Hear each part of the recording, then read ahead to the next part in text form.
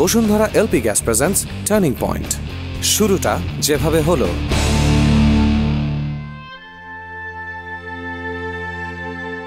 শুনছেন ABC radio FM নব্বই দশমিক দুই। গত রবিবারের মতন এই রবিবারেও ঠিক বিকেল চারটায় আমি রেহান রসুল চলে এসেছি আপনাদের সাথে। Bashundhara LP gas presents turning point with Rehan এই অনুষ্ঠান নিয়ে।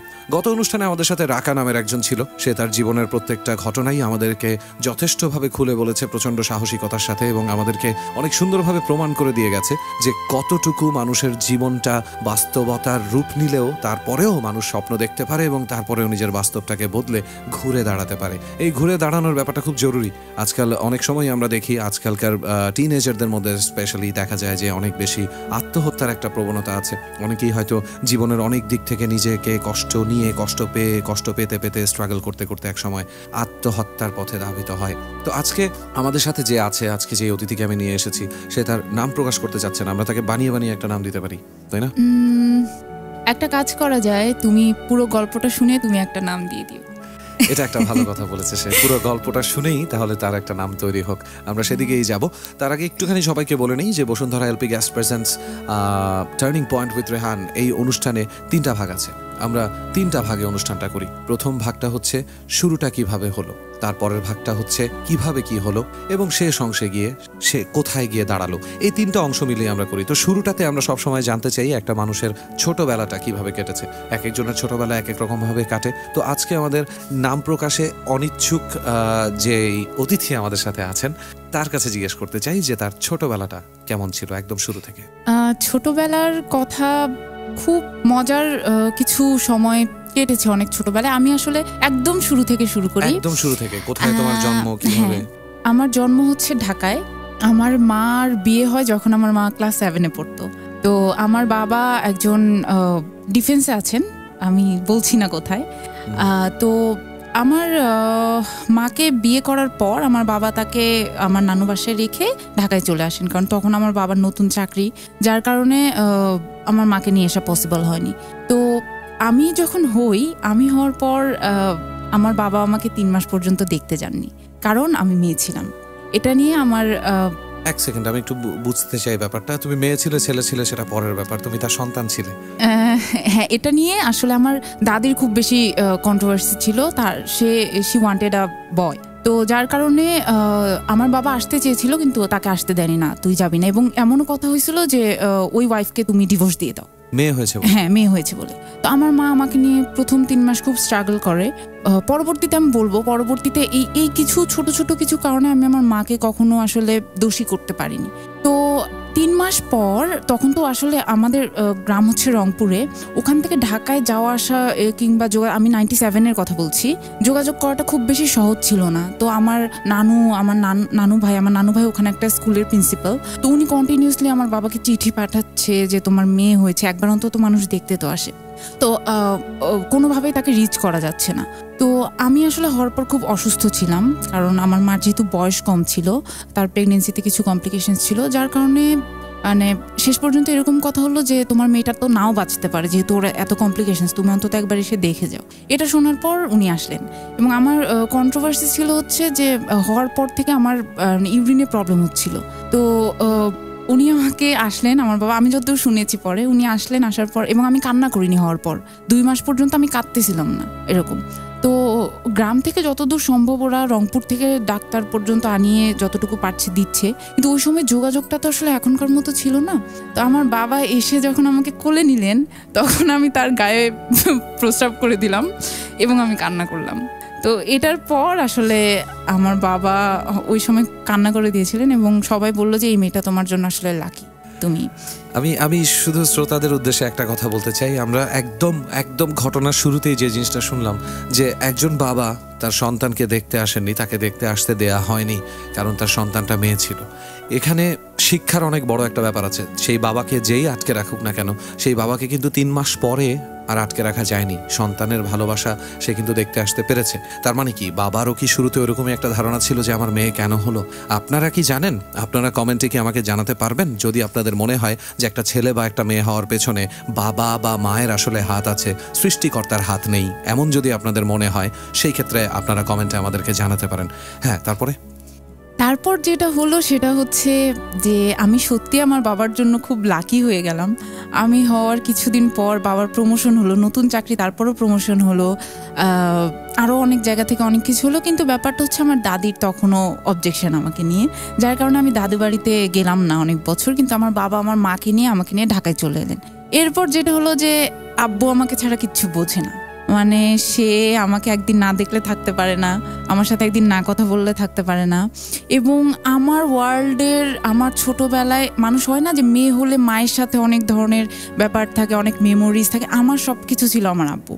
এর এমনকি খুব ইন্টারনাল কিছু ব্যাপার যেগুলো মেয়েরা শুধু মার সাথে শেয়ার করতে পারে আমি আব্বুর সাথে শেয়ার করতে পারতাম কিন্তু আম্মুর সাথে পারতাম না। আচ্ছা। এই ধরনের একটা রিলেশন আব্বুর সাথে হয়ে গিয়েছিল।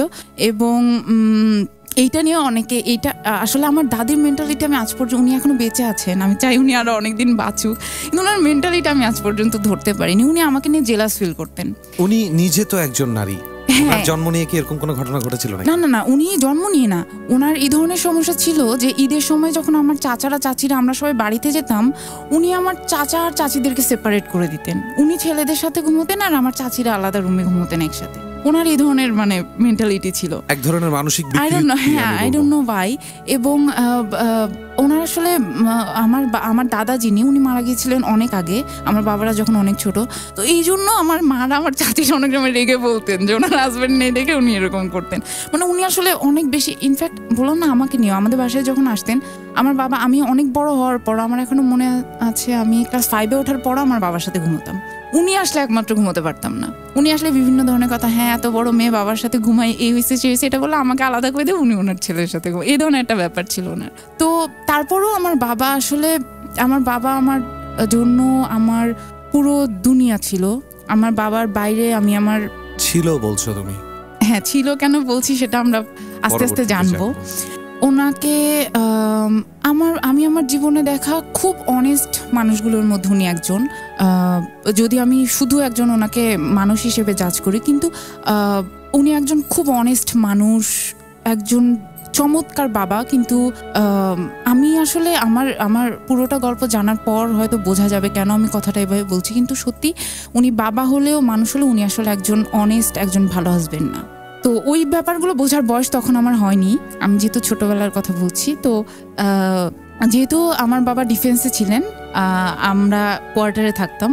তো আমার বাবা সবসময় চেষ্টা করতেন আমাকে সবচেয়ে বেস্টটা দেওয়ার আমার বাবা তখন যে অবস্থায় ছিলেন, পরে এখন তার অনেক প্রমোশন হয়েছে, অনেক আপগ্রেডেড হয়েছে, কিন্তু তখন যে অবস্থায় ছিলেন, ওই সময় একটা সরকারি কোয়ার্টারে থেকে একটা রুমে একটা এসি এফোর্ড করা, একটা পিসি এফোর্ড করা, কিংবা ওয়াশরুমে একটা বাথটাব থাকবে, এগুলো আসলে চিন্তা করা যেত না, কিন্তু উনি এগুলো আমার জন্য করতেন। মানে উনি আমাকে এমনভাবে আমাদের বাসায় ব্যাপারটা ছিল যে আমার একটা রুম মাস্টার বেডরুম যেটা ছিল সেটা বাবা আমাকে দিতেন সব সময় আর আমাদের বাসার মধ্যে আমার রুমটা একটা আলাদা ওয়ার্ল্ডের মতো ছিল। উনি সেটা মানে আমার জন্য ক্রিয়েট করতেন। It's like he treated you like a princess always সব সময় এই কাজটাই তিনি করেছেন। কিন্তু আমরা কিন্তু ওর কাছ থেকেই একটা জিনিস খুব অন্যরকম একটা ব্যাপার কিন্তু আমরা শুনলাম যেটা আমরা অনেক সময় নিজেদের কাছেই স্বীকার করতে চাই না। হয়তো আপনিও আপনার কাছে স্বীকার করবেন না যে আপনার বাবা হয়তো আপনার বাবা হিসেবে সবচেয়ে সুন্দর একটা সত্তা। কিন্তু আপনার বাবাই হয়তো যখন শ্বশুর হয়ে যাচ্ছে, তখন হয়তো তার সত্তাটা সম্পূর্ণ পাল্টে যাচ্ছে। আবার অফিসে গিয়ে সে হয়তো সম্পূর্ণ আলাদা একটা সত্তার মধ্যে আছে। এক একজনের মধ্যেই কিন্তু নানান ধরনের অবস্থান থাকে। তো সেই অবস্থানগুলো কোথায় গিয়ে কোথায় ঠেকে, আমরা আসলে সব সময় টের পেতে পারি না। আর এগুলো আসলে গ্যারান্টি দিয়ে আসেও না। তারপরে তারপরে কি হলো? তারপর যেটা হলো সেটা হচ্ছে যে, ওই যে বললাম না, আমার বাবার সাথে আসলে আমি এত বেশি ক্লোজ ছিলাম, আমার বাবার সাথে এরকম রিলেশনের কারণে আমি কেন জানি অন্য সবার থেকে অনেক বেশি দূরে দূরে থাকতাম। আমার মার সাথে আমার রিলেশন অত ফ্রেন্ডলি ছিল না। কারণ আমার মা আসলে অনেক আমার মা একটু অন্যরকম। আমার মা প্রচুর কালচারাল আমার মা এখনও গান করেন। এখানে যদি একটু জিজ্ঞেস করতে চাই আমি তোমার মা আর তোমার বাবার মধ্যে সম্পর্ক? সেটাতে আমি আসছি। আমার মা খুব সে গান করতে পছন্দ করতেন এখনও ফোক গান সে চমৎকার ফোক গান করেন। কিন্তু আমার মার যে ব্যাপারটা হয়েছে তার বাবা একজন স্কুলের প্রিন্সিপাল স্কুল না ঠিক মাদ্রাসার প্রিন্সিপাল তো ছোটবেলা থেকে খুব একটা সাফোকেটেড পরিবেশের মধ্যে আমার মা বড় হয়েছে। রেস্ট্রিক্টেড হ্যাঁ এবং আমার বাবার যেরকম মেন্টালিটি সেও খানিকটা এরকম। আমার বাবার এই জায়গায় একটু কনফ্লিক্ট আছে। মানে আমার, আমি এটাই সব আমি সারা জীবনে এটা চিন্তা করে গেলাম যে এই মানুষটা একমাত্র আমার জায়গায় একেবারে অন্যরকম। দুনিয়ার সব মানুষের ক্ষেত্রে সে খুবই কন্ট্রোভার্ট খুবই রিলিজিয়াস খুবই টিপিক্যাল শুধুমাত্র আমার জায়গায় এসে তার একদম ফ্রি এই জিনিসটা তার সবসময় ছিল। তো যার কারণে আমার মার আমার বাবার প্রতি শুরু থেকে, আর বিয়েটা যেহেতু অ্যারেঞ্জ ম্যারেজ ছিল, শুরু থেকেই আমার বাবার প্রতি তার একটা মানে খুব একটা লাভিং রিলেশনশিপ যেটা সেটা না। যার কারণে আমার মার সংসারের প্রতি যে খুব একটা টান একটা সংসার ভালো এই জিনিসটা তার ছিল না একদম শুরু থেকে। এটা আমি ছোটবেলা থেকে দেখতে পারতাম। যার কারণে আমি আমার মানে ওই যে সংসারের প্রতি মানে মা হিসেবে সে আমাকে ভালোবাসত কিন্তু সংসারের প্রতি একটা মানে সে স্বাধীনতা পাচ্ছে না সে হয়তো জীবনে অন্য কিছু করতে চেয়েছে পাচ্ছে না। এই কারণে হয়তো আমার প্রতিও তার একটু উদাসীনতা ছিল। আচ্ছা। যার কারণে আমি আমার বাবার সাথে বেশি ক্লোজ ছিলাম। এখন তাদের দুজনের রিলেশন আমি এই জিনিসটা নিয়ে আমি আমি এই যে সবার কাছ থেকে সবসময় আলাদা থাকতাম এটার একটা কারণ হতে পারতো যে ওদের দুজনের রিলেশনটা। আমি ছোটবেলা থেকে কখনো আজ পর্যন্ত আমি কখনো আমার মনে পড়ছে না আমি দেখেছি আমার বাবা মা একসাথে বসে হেসে কথা বলছে বা তারা ভালো কোনো মোমেন্ট শেয়ার করতেছে। একটা বারো না। নট আ সিঙ্গেল টাইম এবং আমি সব ছোটবেলা থেকে খুব একটা মানে আমার বাবা আমাকে সব কিছু দিতেন। প্র্যাকটিক্যালি আমি খুব একটা I was brought up like a princess কিন্তু মেন্টালি আমি খুব সাফোকেটেড একটা পরিবেশের মধ্য দিয়ে বড় হয়েছি। কারণ ওদের যে ঝগড়া, ওদের যে কন্ট্রোভার্সি এটা এত বেশি ভায়োলেন্ট ছিল যে একটা মানুষ আরেকটা মানুষকে কতটা ঘৃণা করতে পারে এটা ওদেরকে দেখলে বোঝা যেত। আমরা এই মুহূর্তে একটা আসলে বিরতি নিতে আমরা বাধ্য হচ্ছি। আপনারা নিশ্চয়ই শুনছেন অবস্থানটা।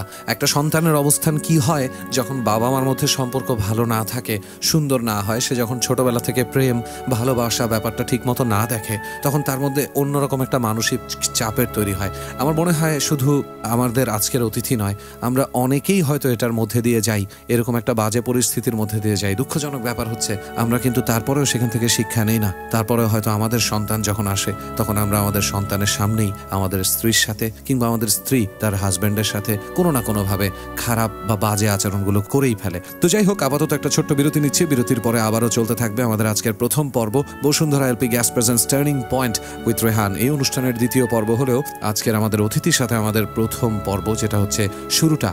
কীভাবে হলো? তো সেই শুরুটা কীভাবে হলোতেই আমরা থাকব, তবে ছোট্ট একটা বিরতির পর। বিরতির আগে সবাইকে একটু জানিয়ে দিতে চাই যে দক্ষিণ এশিয়ার সর্ববৃহৎ এলপি গ্যাস সিলিন্ডার প্ল্যাট হচ্ছে বসুন্ধরা এলপি গ্যাসের, তাই এর উপরে আপনি আস্থা রাখতে পারেন। অনেক সময় যেটা হয় যে আমরা মানুষের উপরে আর আস্থা রাখতে পারি না, তখন আস্থাটা হয়তো বস্তুগত জগতের দিকে চলে যায়। ফিরে আসছি ছোট্ট বিরতির পর।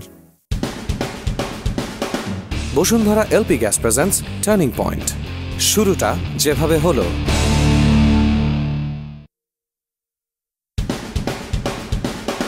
Bashundhara LP gas presents turning point. শুরুটা যেভাবে হলো। শুনছেন এবিসি রেডিও এফএম উননব্বই দশমিক দুই, আর চলছে Bashundhara LP gas presents turning point with Rehan আজকে আমাদের সাথে একজন অতিথি আছেন এবং তিনি তার নাম প্রকাশ করছেন না, কিন্তু প্রকাশ করছেন তার জীবনের অবস্থান। আর আমার মনে হয় আপনারা এটা শুনতে শুনতে অনেক কিছুই বুঝতে পারবেন, যে মানুষের জীবনের উপর দিয়ে বাস্তবতার ঝড় যখন যায়, সেই ঝড়টা আসলে কতটা তীব্র হতে পারে এবং আপনার দৃষ্টি গোচর হবে না, এমনভাবে কতটা ভেঙে চুড়ে দিয়ে যেতে পারে সবকিছু। তো যাই হোক, আমরা এর পরের অবস্থানে যাই। তারপরে কি হলো? তোমার বাবা মার সাথে, তোমার বাবা মার মধ্যে সম্পর্ক ভালো না। তোমার হ্যাঁ। দাদি তোমাকে অন্য একটা রকম দৃষ্টিতে দেখছে। তোমার মা নিজের জায়গা থেকে সন্তুষ্ট না। তোমার বাবা স্বামী হিসেবে সন্তুষ্ট না কিন্তু হয়তো বাবা হিসেবে সন্তুষ্ট। প্রচণ্ড একটা মানসিক গরমিল চলছে তোমার ভিতরে। তারপর? হ্যাঁ এর মধ্যে আমি পড়াশোনা করেছি ভিকর্নেসা থেকে। আমি খুব ভালো বলব না ভালো স্টুডেন্ট ছিলাম। আচ্ছা। তো কিন্তু আমার স্কুলে আমার বাইরে আমার কোনো বন্ধু ছিল না। কারণটাই বলছি আমি সব সময় একটা ভয়ের মধ্যে থাকতাম। আমি যখন তাদেরকে অ্যাগ্রেসিভ হতে দেখতাম এমনও হয়েছে যে ব্যাপারটা আমার মা হসপিটালাইজ পর্যন্ত হয়েছে। এতটা অ্যাগ্রেসিভ ছিল তারা। এবং সেটা তোমার সামনেই? হ্যাঁ আমার সামনে ইনফ্যাক্ট একমাত্র আমি ছিলাম যে তাদেরকে আটকাতে পারতাম অন্তত। যার জন্য আমি আমার স্কুলের কোনো পিকনিক কোনো ট্যুর কোনো ভ্যাকেশন আমি কোথাও যেতাম না। কারণ আমার মনে হতো যে আমি যদি বাসায় না থাকি তখন যদি এরকম হয় তখন কি হবে? এই ধরনের একটা ব্যাপার আমার মধ্যে সবসময় কাজ করতো। তাহলে তো তুমি পড়াশোনা যখন করতে যখন কলেজে যেতে তখনও তো তোমার এটাই মনে হতো হ্যাঁ হ্যাঁ আমি সেটাই বলছি আমি কখনো আমার রুমের দরজা আটকে রাখতাম না। বা হয় না মানে ব্যাপারটা খুবই ইন্টারনাল তারপরও তারা যখন একসাথে বেডরুমে ঘুমোতে যেত প্রায় সময় আমি ওই দরজায় বাইরে থেকে কান পেতে থাকতাম যে ভেতরে আসলে কি হচ্ছে। এই ধরনের সিচুয়েশন আমার জীবনে অনেকবার এসেছে। মানে you have been through a panic for a long time all time actually all time in fact বললাম তো, আমি তারা যখন ঘুমোচ্ছে, আমি ইনফ্যাক্ট তখনও এভাবে করতাম। আর মানে it was a total suffocated situation এবং মানে তারা, কেন এত অ্যাগ্রেসিভ এবং ব্যাপারটা এমন পর্যায়ে চলে যেত, আমার মা হয়তো সুইসাইড করতে চলে যাচ্ছে। একদিকে আমি আব্বু চিৎকার করতেছে, তাকে থামাচ্ছি, আরেকদিকে আরেক রুমে মা হয়তো এই ধরনের কিছু করতে যাচ্ছে, তাকে থামাচ্ছি। এ- এবং আমি সবসময় আমার মার যে বাড়িতে ফোন দিতাম, আমার নানু অথবা নানু ভাই, সবসময় বলতাম যে, তোমরা একটু আসো ই করো। মানে কেউ একজন বাসায় থাকলে আমার একটু শান্তি লাগতো যে, কেউ একজন আছে। এই ধরনের একটা ব্যাপার। মানে খুবই একটা কন্ট্রোভার্ট সিচুয়েশনের মধ্যে।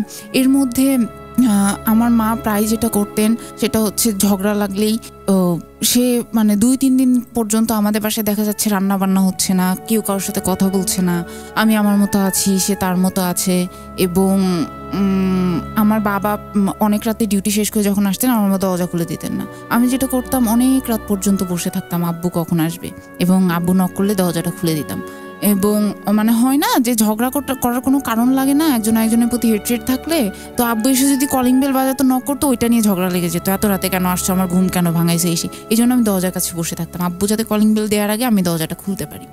এই ধরনের মানে এই সিচুয়েশনগুলোর কারণে আমি আসলে কারোর সাথে মিশ, আমার সবসময় মনে হতো যে, এই যে আমার ঘরের ইন্টারনাল ব্যাপারগুলো, এগুলো মনে হয় সবাই জানে। এবং আমি কারোর সাথে মিশতে গেলে মনে হয় মানুষ আমাকে এগুলো বলবে। এটার জন্য আমি আমার স্কুলে কোনো সার্কেল ছিল না আমার কলেজে কোনো সার্কেল ছিল না বাইরে কোনো আমাদের পাশে একটা কাজের মেয়ে ছিল ওর কথা বলতেই হবে। আমি আসলে ওকে এখনও ফিল করি। ও আর আমি একদম সেম এজের ছিলাম এখন অবশ্য দুইটা বাচ্চা আছে। তো ও আমার সবচেয়ে ভালো বন্ধু ছিল। আমরা দুজন প্ল্যান করতাম। আচ্ছা। আমরা দুজন বাসায় বিভিন্ন প্ল্যান করতাম। আমরা সারাদিন বাসায় থাকতাম। আমি স্কুল শেষ করে ওর জন্য এটা সেটা নিয়ে আসতাম। আমরা দুজন সারাদিন ও আমার বন্ধু ছিল। মানে আমার আমার একটা সময় এখন এসে মনে আমি এখনও যেহেতু এখন একটা জায়গায় আছি, আমি প্রায় ওর জন্য টাকা পয়সা পাঠাই দিই, ওর বাচ্চাদের জন্য কিছু না কিছু পাঠিয়ে দিই। কারণ আমার মনে হয় যে ওই সময়টাতে যদি ও না থাকতো, আমি টোটালি একা। এখানে আমি একটা কথা একটু শ্রোতাদের উদ্দেশ্যে বলতে চাই। আপনারা যারা শুনছেন, হয়তো একদম শুরু থেকে কেউ একজন শোনেননি বা কেউ একজন হয়তো বোঝেননি। আমরা একদম প্রথমে একটা জিনিস জানতে পেরেছিলাম, যে আমাদের আজকের অতিথির মা, তার বিয়ে হয়েছিল যখন সে ক্লাস সেভেনে পড়তো। ক্লাস সেভেনে একটা মানুষ ভালোবাসা তো দূরে থাক, সংসার কি জিনিস? দায়িত্ব কি জিনিস কোনো কিছুই ঠিক মতন বোঝে না। এবং সেই সময় থেকে যদি তাকে সংসারের মধ্যে পাঠিয়ে দেওয়া হয়, সংসারের প্রতি তার টান যে থাকবে না, সেটা কিন্তু খুব স্বাভাবিক একটা ব্যাপার। আমরা যখন পরিপক্ক না হয় একটা গাছ যদি বড় না হয়, আপনি সেই গাছের ছায়া কোথার থেকে পাবেন? সেই গাছে উঠবেনই বা কীভাবে? তারপরে আমরা এই ভুলটা হয়তো এখনোই অনেকে অনেক জায়গায় করে যাচ্ছি, যে কারণে এটা বললাম। দয়া করে বাল্য বিবাহ থেকে আপনারা দূরে থাকবেন। প্লিজ আপনাদের পায়ে ধরি ছোট ছোট বাচ্চা মেয়েদেরকে ওষুধের হাতে তুলে দেবেন না এটা উচিত না। তারপর বলি আমরা। তারপর আমার ছোট ভাইটা হলো আমার একটাই ভাই। তখন আমি ক্লাস ওয়ানে পড়ি। মানসিক এই সম্পর্ক থাকা অবস্থায় কীভাবে আরেকজনের আগমন ঘটতে পারে? এটা আসলে আমি আমার জীবনে যতদূর দেখেছি এটা আসলে মানুষের একটা অভ্যাস ছাড়া আর কিছু না। এইটা এই জিনিসটা আসলে আমাকে খুব ডিস্টার্ব করে যে একটা মানুষকে আমি এত হেট করতেছি আমি একটা মানুষকে সহ্য করতে পারতেছি না। কীভাবে আমার আর তার সাথে এইটা আসলে আমি শুধু আমি হয়তো আজকে বলতে পারছি অনেকে বলে না। আমাদের প্রত্যেকটা ফ্যামিলিতে কিন্তু এই একই গল্প। অনেকে বলে না আমি হয়তো বলছি। এইটা আসলে আমার মনে হয় এখানকার মানুষের আমি আসলে এটাকে আলাদাভাবে ক্যাটাগরাইজ করা যাচ্ছে না। ক্যাটাগরাইজ করা যাচ্ছে না। আর সবচেয়ে বড় কথা হচ্ছে যে এডুকেশনটা খুবই ইম্পর্টেন্ট একটা মানুষ যখন পড়াশোনা করে তখন সে আসলে বুঝতে পারে যে কোনটা নৈতিক কোনটা অনৈতিক কোনটা একটা মানুষের একটা মেরুদণ্ড তৈরি হয়ে যায়। এডুকেশনটা একটা মানুষের মেরুদণ্ড তৈরি করে। কিন্তু আমি যদি এখানে একটা কিন্তু দেই তোমার বাবা মা দুজনেই শিক্ষিত। হ্যাঁ শিক্ষিত কিন্তু ওই যে বয়স একটা ক্লাস সেভেনে পড়া মেয়ের কাছে তুমি কীভাবে একটা সংসার ভালোভাবে হ্যান্ডেল করা তুমি এক্সপেক্ট করতে পারো? ট্রু সত্য কথা। তাই না? তো এরপর আমার ছোট ভাইটা হলো আমার ছোট ভাইটাকে নিয়ে আমার মা হচ্ছে তাকে নিবেই না। এবং আমি একটা জিনিস লিসেনারদের জন্য বলছি আপনারা যদি একটা মানুষকে পৃথিবীতে না আনতে চান ইউ শুড ডিসাইড ইট মানে বিফোর একটা অ্যাবোর্শন করা মানে একটা খুন করা। আসলেই তাই। এবং এর চেয়ে বড় কোনো অপরাধ হয় না। আমার মা অ্যাবোর্শন করা অনেক চেষ্টা করলেন কিন্তু আমার বাবা রাজি ছিলেন না। সে বলল যে না বাচ্চাটা আমি নিব। তো আমার ভাইটা আসলো ওই সময়টাতে যেটা হলো সেটা হচ্ছে যে হুট করে আমার বাবার একটা বিজনেস ছিল। ওই চাকরিতে বিজনেসে একটা ঝামেলা হলো যে ছন্দপতন হয়ই মানুষের। ওই বছর, একই বছর আমার মার, আমার মা, আমার বাবা কিন্তু আমার মাকে পরে পড়াশোনা করিয়েছেন। সেভেনে বিয়ে, তারপর মাস্টার্স করিয়েছেন এবং আমার বাবা তাকে ডিফেন্সেই তার অফিসেই একটা চাকরি দিলেন। এবং একই বছর আমার ভাই হলো, আমি ওই বছর বিকারনেসে চান্স তখন আমাদের ভর্তি পরীক্ষা দিতে হতো চান্স পেলাম এবং একই বছর আমার মার চাকরি হলো। তো যার কারণে ওই ফিনান্সিয়াল একটা ঝামেলা তৈরি হলো এবং আমি এই এই ঘটনাটুকু আমি অবশ্যই বলতে চাই। সেটা হচ্ছে যে, সেবার কোরবানি ঈদে আমাদের মানে ওই আমার ছোট ভাই হওয়ার পরে ওর, ওরও একটু মানে অসুস্থ ছিল, যার কারণে মানে ওর হওয়ার পরেও নিউমোনিয়া হয়ে গেল এবং ওর লান, লাঞ্চে একটা সমস্যা হয়ে গেল, যার কারণে বেশ কিছু এবং ইন্ডিয়া পর্যন্ত নিয়ে যেতে হলো এই সবকিছু কিন্তু বাল্য বিবাহ থেকে শুরু। সন্তান যে অসুস্থ অসুস্থ, অবস্থানে হচ্ছে তার মানে হচ্ছে তার মা তৈরি নয়। আপনারা জোর করে প্রকৃতির বাইরে গিয়ে কিছু কাজ করেন যেটা প্রকৃতি পরবর্তীতে নিজেই সহ্য করতে পারে না। তো ওকে ইন্ডিয়া নিয়ে যেতে হলো। আমাকে তখন আমি যেহেতু বিকরণেসে পড়ে একটা বড় অ্যামাউন্টের টাকা প্রথমে দিতে হয় এই সেই তো আমার মার চাকরি সব মিলে তো ওই সময় আমাদের খুব একটা সিচুয়েশন হলো। এমন খারাপ সিচুয়েশন হলো যে ঈদ আমার বাবা ঈদের জন্য শপিং মানে বাজার করতে পারলেন না। তো আমার ভাই তো ছোট, আমিও ছোট, তো আমরা খুবই যে মাংস খাব মাংস খাব, সবার বাসায় রান্না হচ্ছে আমাদের বাসায়। প্রত্যেক বছর আমরা পুরো একটা আস্ত গরু দিই, এবার আমাদের হচ্ছে না। তো আমরা তো আর বুঝতে পারতেছি না কি হচ্ছে, না হচ্ছে, কিন্তু আমরা খুবই মন খারাপ। তো আমার বাবা এটা আমাকে তখন বলেন, অনেক বছর পর আমাকে বলছিলেন যে ওই দিন ওই যে বাসায় বাসায় ওরা ই করতে আসে না, মাংস নিতে আসে না হেল্প নিতে আসে না। তো ওরা ওই মাংসগুলো তো অনেকগুলো পায়, ওরা নিয়ে খিলগার রেল স্টেশনে ওখানে ওরা বিক্রি করে। কম ওখান থেকে আমার আব্বু আর আম্মু এক কেজি মাংস এনে আমাদেরকে রান্না করে খাইয়েছিলেন। সো আসলে মানে কি বলব যে মানুষের জীবনে অনেক অনেক অনেক অনেক অবস্থান যায়। এই যে আপনারা যারা বড় বড় গরু কেনেন না, দেখানোর জন্য সেটা যদি ভালোবাসা থেকে হতো তাহলে হয়তো ব্যাপারগুলো অন্যরকম হতো। তো যাই হোক, একটা ছোট্ট বাচ্চার স্বপ্ন নিয়ে আমি এর চেয়ে বেশি আর কিছু আগাবো না। তবে তার মা বাবার চেষ্টাটা একটু যদি দেখেন তাহলে হয়তো আপনাদের চোখেও একটু পানি চলে আসতেই পারে। যাই হোক, তারপর? তারপর আর কি ওভাবে আস্তে আস্তে সিচুয়েশনগুলো উঠে এলো ওখান থেকে সব কিছু আবার ঠিক হয়ে গেল। আমার ছোট ভাইটাকে আমি খুবই ভালোবাসি এবং ও আমাকে মা ডাকে এখনও আমাকে মা ডাকে। কারণ ওই যে ও যে বছর ওকে তিন সাত দিনে রেখে আমার মা জয়েন করল নতুন যার কারণে ওকে আর পায়নি। মানে আমার ভাই টোটালি ও ছোটবেলা থেকে আমাকেই চিনতো মা। আচ্ছা। আমার মাকেও টোটালি পায়নি। তো ওকে ঘিরে আমার দুনিয়া হয়ে গেল তখন। তো আমি অত তখন কিন্তু আমি ক্লাস ওয়ানে পড়ো। অতটুকু বয়সে আমার ভাই হওয়ার পর আমি আমার বাবাকে ডেকে নিয়ে একটা কথা বলেছিলাম যে, আব্বু, আমার আসলে অনেক কষ্ট হয়। আমার ছোট ভাইটার নাম সিয়াম। তোমরা কিন্তু সিয়ামের সামনে ঝগড়া করো না। ওই দিন আমার আব্বু কান্না করে দিয়েছিল আমার সামনে। একটা ক্লাস ওয়ানের একটা বাচ্চাকে এই উপলব্ধি যেই বাবা মা করতে দিয়েছে সেই বাবার চোখ দিয়ে তো এই সময় পানি আসবেই। তাও ধন্যবাদ আমাদের আজকের অতিথিকে যে সে ওই উপলব্ধিটা করতে পেরেছে। বরঞ্চ তার মধ্যে এমনটাই হতে পারতো যে একটা বাচ্চা মানুষের মধ্যে এটাই ধারণা হতে পারতো ও আচ্ছা স্বামী স্ত্রী সম্পর্ক তো মনে হয় এমনই হয়। এটাই স্বাভাবিক। এটা যে তার মধ্যে হয়নি সেজন্য আমরা কাকে থ্যাংক ইউ দিব আমার জানা নেই। চলো আবারও বলি তারপর? তারপর আমার মা চাকরিতে যাওয়ার পর তার মধ্যে একটা অনেক অনেক বড় চেঞ্জ এলো। আগে থেকেই সে সংসারের প্রতি একটু উদাসীন ছিল। যখন সে সেলফ ইন্ডিপেন্ডেন্ট হয়ে গেল তখন she was behaving like she don't care anything and that anything by that anything you mean you your brother হ্যাঁ এভরিথিং এবং সে আমার ভাই যখন এক বছর বয়স সে আমার ছোট ভাইটাকে আমার নানুর বাসায় দিয়ে এলো। কেন? দেখাশোনা করতে পারছে না, তার চাকরিতে, তার ক্যারিয়ার নিয়ে সে এখন অনেক কনসিয়াস হতে চায় অফিসে কনসেন্ট্রেট করতে চায়। আমার বাবার আর আমার মার এটা নিয়েও অনেক ঝামেলা হলো। আমার বাবা, আমার বাবার কাছে, আমার ছোট ভাই ইনফ্যাক্ট যখন হলো, তখন আমার ছোট ভাইকে একপাশে রেখে সে মানে এমনি মজা করে বলছিল যে, আমার ছেলের চেয়ে আমার মেয়েটাই সুন্দর। তো আমার বাবার কাছে ছেলে মেয়ে ছাড়া তার দুনিয়াতে আর কিছু নেই। সে একটা সময় মানে তার দুনিয়া আমাদেরকে ঘিরে, কিন্তু আমার মার মধ্যে এই চেঞ্জটা আসেনি। তো তো এরপর হচ্ছে মানে এভাবে আর কি তার চাকরির পর অনেক বড় একটা চেঞ্জ এলো এবং এই চেঞ্জটার জন্য পরবর্তীতে আমাদেরকে অনেক সাফার করতে হয়েছিল।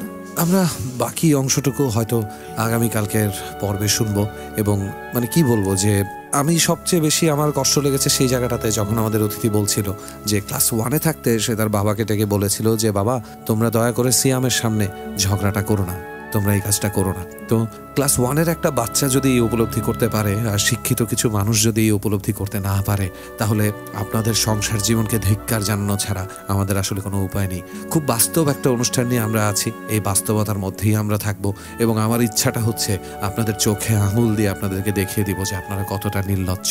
আপনারা রাজি আছেন শুনতে? যদি ভালো লাগে তাহলে শুনবেন, আর যদি ভালো না লাগে তাহলেও শুনবেন, কারণ ভালো না লাগার মধ্যে অনেক কিছু পাওয়া যায়। অনেক কিছু আমাদের আমরা করে ফেলি, আমরা সাবধান থাকি না, সঠিক অবস্থানে থাকি না তাই অনেক কিছুই হয়তো আমাদের একটু তৈরি হয়ে করতে হয়। আজকে একটা বাল্যবিবাহ একটা সংসারকে কতটুকু এলোমেলো করে দিয়েছে, সেটা মনে হয় আপনারা কিছুটা শুনতেই পাচ্ছেন।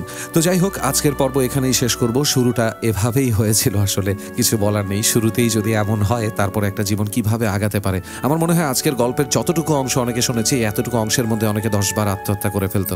এখনকার অনেকেই যারা জীবনের মূল্য সঠিকভাবে দিতে জানে না। যাই হোক সব কিছুরই সঠিকভাবে মূল্য দেবেন এবং একটা জিনিস আপনাদেরকে বলে রাখি, আপনারা যারা সিলিন্ডার ইউজ করেন সিলিন্ডার ইউজ করে আপনারা যারা রান্না বান্না করেন, তাদের আপনাদের কিছু সাবধানতার প্রয়োজন আছে। আপনার আশেপাশে অনেক রকম, অনেক ঘটনা ঘটছে, আপনারা জানেন। তাই একটা জিনিস আপনাদেরকে বলে রাখি, প্রতি দুই বছর পর পর অন্তত নতুন রাবার টিউব লাগাতে হবে আপনার সিলিন্ডারে। আমরা যেমন সম্পর্কটাকে গাঢ় করার জন্য অনেক রকম, অনেক কিছু করি, আমাদের সব কিছুর পিছনেই একটা সাবধানতা অবস্থান অবলম্বন করতে হয় না হলে সব কিছু এলোমেলো হয়ে যায়। আবারও আগামীকালকে কথা হবে আপনাদের সাথে ঠিক বিকেল চারটায়, কীভাবে কি হলোতে, অর্থাৎ Bashundhara LP gas presents turning point নিয়ে আবারও আমি রেহান রাসুল চলে আসব। ততক্ষণ পর্যন্ত শুনতে থাকুন এবিসি রেডিও এফ এম উননব্বই দশমিক দুই।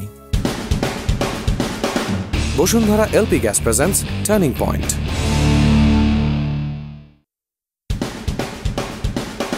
Bashundhara LP gas presents turning point কীভাবে, কি হলো? শুনছেন এবিসি রেডিও এফএম উননব্বই দশমিক দুই। গতকাল রবিবার ছিল, আজকে সোমবার, পরপর তিন দিন আমার আসার কথা, আজকে দ্বিতীয় দিন চলছে। শুনছেন Bashundhara LP gas present turning point with Rehan আর প্রতি রবি, সোম এবং মঙ্গলবার এই অনুষ্ঠানটা হয়। ঠিক বিকেল চারটা থেকে সাড়ে চারটা প্রতি সপ্তাহে আমাদের সাথে কেউ না কেউ থাকে যে তার জীবনের বাস্তবতাগুলো, বাধাগুলো, অবস্থানগুলো তুলে ধরে আপনাদের সামনে এবং তারপরে আস্তে আস্তে এগিয়ে যায়। আমরা গতকাল শুনে ফেলেছি শুরুটা কীভাবে হলো। আজকে আমরা চলে এসেছি কীভাবে কি হলো সেখানে। অর্থাৎ আমরা মধ্যবর্তী অবস্থানটাতে আছি। গতকালকে যে ছিল সেই আমাদের সাথে আছে। আজকেও গতকালকেও সে নাম প্রকাশে অনিচ্ছুক ছিল। আজকেও সে নাম প্রকাশে অনিচ্ছুকই আছে। কিন্তু তার কথাগুলো হয়তোবা সে বলবে। তো তারপরে যদি আমরা যাই গতকালকের যদি অবস্থানটা এতটুকু বলি যে শেষ অবস্থান ছিল তুমি, তোমার ভাই এবং তুমি without getting married or having a perfect কি বলব আ পারফেক্ট প্লেস সব জায়গা থেকে অবস্থান না পেয়েও তুমি কিন্তু একজন মাতে পরিণত হয়েছে কোনো একভাবে। তোমার মাতৃসত্তা জাগ্রত হয়ে গেছে। তারপরে এই মেয়েটা যে কিনা কৈশোর বাদ দিয়ে, কৈশোরের ধাপটা বাদ দিয়ে একদম শিশু থেকে সরাসরি মাতে পরিণত হয়েছে, ওই মেয়েটা কীভাবে আগালো সামনে? এরপর আমার ছোট ভাইটাকে আমার চাকরি হওয়ার পর ওকে নানু বাড়ি পাঠিয়ে দিল এবং আমি জোর করে ওকে নিয়ে আসালাম। কারণ ও ওখানে থাকতে পারছে না। ও যখন ছিল কিছুদিন ওই হতো কি যে আমার স্কুলের কোনো একটা ছোটোখাটো পাঁচ ছয় দিনে ভ্যাকেশন হলে আমাকে যেতে হতো। কারণ ও বেশি দিন থাকতে পারতো না। তো যার কোন- কারণে আমি বললাম যে ঠিক আছে ওর দেখাশোনা আমি করব তুমি ওকে নিয়ে আসাও। তো ওকে নিয়ে আসালো। তো এর মধ্যে আমার বাবা ডিফেন্সে ছিলেন তো ওনার এক বছরের জন্য একটা ট্রেনিংয়ে দেশের বাইরে যেতে হলো। আচ্ছা। মিশনে। কঙ্গো নামে একটা দেশ আছে তখন ওখানে অনেক যুদ্ধ চলছে ওখানে বাংলাদেশ থেকে নিচ্ছে। আফ্রিকায়? হ্যাঁ তো ওখানে ওনাকে এক বছরের জন্য যেতে হবে। তো ওই সময়টা আমি কোনোদিন আমার বাবাকে ছেড়ে একদিনও থাকিনি। আমার বাবা এক বছরের জন্য যাচ্ছে। তখন তোমার বয়স কত? তখন আমি ক্লাস ফোরে পড়ি। আচ্ছা। থ্রি ফোরে পড়ি। তো আমি কোনোভাবে রাজি না। দরকার হলে তো ব্যাপারটা এরকম দরকার হলে তুমি চাকরি ছেড়ে দাও। এটা হবে না। আমার বাবাও রাজি না সে যাবে না। আচ্ছা। সে মানে তার অফিসারদের তার সিনিয়ররা যারা আছে না আমি যাব না। কিন্তু তাকে যেতেই হবে এরকম একটা ব্যাপার। তো এরপর যেদিন উনি যাবেন সেই দিন মানে ওই তো বললাম না আমার বাবা আর মার মধ্যে কোনো লাভিং সিচুয়েশন আমি কখনো দেখিনি। কিন্তু ওই দিন এয়ারপোর্টে আমার বাবা আমার মার হাত ধরে বলছেন যে আমার জীবনের সবচেয়ে মূল্যবান গিফটগুলো আমি তোমার কাছে রেখে যাচ্ছি, তুমি কিন্তু দেখে রেখো। তো, আমার মানে ওনার সাথে তো আরও ওনার অনেক কলিগরা যাচ্ছেন, কেউ আর কারও ফ্যামিলির দিকে কনসেন্ট্রেট করতে পারতেছে না। আমার আমার আর আমার আব্বুর কারণে, আমাদের কান্না, আমাদের যে অবস্থা, সবাই হাঁ করে আমাদের দিকে তাকিয়ে আছে। মানে আমি তো কান্না করব, এটা নর্মাল কিন্তু আব্বু যেভাবে কান্না করতেছে, ওনারা মানে তাকে বুঝাই সুঝে আচ্ছা ভাই, চলেন এক বছরই তো দেখতে দেখতে চলে যাবে। এই ধরনের একটা ব্যাপার। তো আমার বাবা চলে গেলেন, আমি কীভাবে কি করব? আমার ইনফ্যাক্ট ওখানে গেলে একটা বড় অ্যামাউন্টের টাকা দেয় ওরা সরকার থেকে। আমার বাবা যেটা করেছিলেন অর্ধেক টাকা ওখানেই খরচ করে ফেলেন ফোনে কথা বলতে আমার সাথে। প্রত্যেক দিন তিনি কমপক্ষে পনেরো থেকে বিশ বার ফোন দিতেন। ওখান থেকে তো এত ইজি ছিল না। কানেক্ট করা এক মিনিটে মনে হয় পঞ্চাশ টাকা না ষাট টাকা করে কাটতো। উনি ফোন দিয়ে ঘণ্টার পর ঘণ্টা আমার সাথে কথা বলতেন। তো যাই হোক এইটা আমার জীবনে একটা টার্নিং পয়েন্ট বলতে পারো এই যে আমার বাবা চলে যাওয়ার পরের আচ্ছা। সময়টা। আচ্ছা। আমার বাবা চলে যাওয়ার মানে হয় কি যে আমার বাবা তো ডিফেন্স থেকে রেশন পায়, বেতন পায়, এগুলো আসলে যখন এক বছর যায় তখন কিন্তু কন্টিনিউসলি পায়। এটা আসলে ওনার ওয়াইফ থাকলে ওয়াইফ অথবা ম্যারিড না হলে মা অথবা কাউকে অথর করে দিয়ে যেতে হয়। তো আমার বাবা আমার মাকে অথর করে দিয়ে গেল। তো আমার বাবার বেতন যেখানে হতো অ্যাকাউন্টসে ওখানের একজন ছিল আমার বাবার খুব ভালো বন্ধু। ওনাকে আমার বাবা বললেন যে, তুমি, আমি যেহেতু চলে যাচ্ছি, তুমি আমার বেতন পেতন যা কিছু আছে সব কিছু আমার বাসায় পাঠিয়ে দেওয়ার ব্যবস্থা করো, যেহেতু ওর মা একা থাকবে, এত কিছু ম্যানেজ করতে পারবে না, এই সাইডটা তুমি একটু দেখো। তো ওই আঙ্কেল আমাদের বাসায় বাবার বেতন নিয়ে আসতেন। শুরুতে এক মাস শুধু বেতনের জন্য আসতেন, তারপর মাঝে মধ্যে আমাদের খোঁজ খবর নিতে আসতেন। একটা সময় পর উনি আমাদের একটু বেশিই খোঁজ খবর নিতেন। তখন আমি ক্লাস ফোরে পড়ি। একটা সার্টেন সময় পর বুঝলাম যে আমার মা আর তার মধ্যে খুব ভালো একটা রিলেশন তো প্রথমে ব্যাপারটা আমি ভালোভাবে নিলাম যে কারণ উনি এর আগে আমার বাবার সাথে অনেকবার এসেছেন যেহেতু আমার বাবার বন্ধু। তো উনি সবসময় আমার জন্য আমার মা আবার আমার ছোট ভাইটাকে বাড়িতে পাঠিয়ে দিলেন আমাকে বুঝিয়ে সুঝিয়ে যে তোমার বাবা নেই এই সময় মানে এমনিতেও আমার জন্য অনেক কঠিন সব কিছু দেখাশোনা করা। ওই সময় আবার আমার মার প্রমোশন হলো। তো আহ, বলল যে সিয়ামকে পাঠিয়ে দিই কিছুদিন পর আবার নিয়ে আসব। তা আমি বাসায় একদম একা আমি আর ওই ওই মেয়েটা আমরা সবসময় থাকি। তো উনি যখন আসতেন আমি ওনার নামটা বলছি না। উনি যখন আসতেন একই ডিপার্টমেন্টে কিন্তু আমার বাবার বন্ধু ছিলেন। তো আমার জন্য অনেক কিছু নিয়ে আসতেন সবসময়। আমাকে উনি আমার জন্য একবার উনি একটা টিয়া পাখি নিয়ে এসেছিলেন। আচ্ছা। সেটা আমার খুবই পছন্দের ছিল এবং পরবর্তীতে টিয়া পাখিটাকে আমি ছেড়ে দিয়েছিলাম। যাই হোক। তো একটা সময় পর তখন তো আমি আসলে অনেক ছোট ছিলাম তারপরে একটা সময় পর ব্যাপারটা আমার কাছে খুব একটা ভালো মনে হতো না। কারণ আমার মার অফিস শেষ হতো পাঁচটায়। আমি বাসায় একা আমার বাবা নেই। আমার মা প্রায় অনেক রাত করে ফিরতেন। আচ্ছা। এগারোটা বারোটা এরকম সময় ফিরতেন এবং প্রায় সময় আমি দেখতাম যে উনি আমার মাকে ড্রপ করে দিয়ে যাচ্ছে। আচ্ছা। তো আমি এতটুকু বুঝতাম যে এই ব্যাপারগুলো আব্বুকে বলা যাবে না। এতটুকু তোমার মধ্যে উপলব্ধি না না না কারণ উপলব্ধি না। কারণ আমার মনে হতো যে এটা নিয়ে যদি আবার ঝগড়া হয় আচ্ছা। এটা নিয়ে যদি আবার ঝগড়া হয় আমি ঝগড়াটা খুব ভয় পেতাম। আচ্ছা আচ্ছা। ওই একটা ভয় আমার মধ্যে ছোটবেলা থেকে অনেক করে থেকে গিয়েছিল। তা আমি আব্বু ফোন দিত আমি খুব আপসেট থাকতাম খুব কাঁদতাম। আব্বু জিজ্ঞেস করতো কেন কাঁদতেছো কেন? আমি বলতাম না। আব্বু ভাবতো যে হয়তো সে নেই এই জন্য কাঁদছি।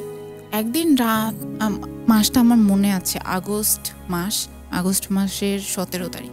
ওই দিন রাতে অনেক ঝড় বৃষ্টি। তো উম, আম্মুকে বলেছি খিচুড়ি রান্না করতে। তো আম্মু খিচুড়ি রান্না করেছে।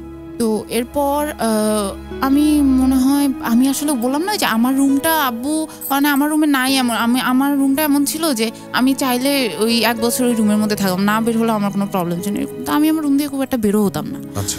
তো আমি রাত দেড়টা কি দুইটার দিকে খুব বিদ্যুৎ চমকাচ্ছে।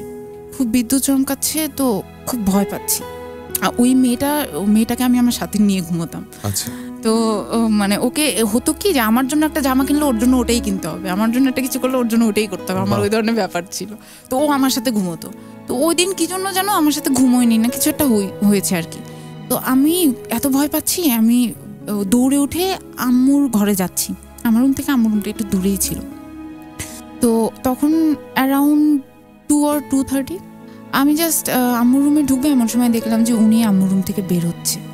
রাত আড়াইটার সময়। হ্যাঁ।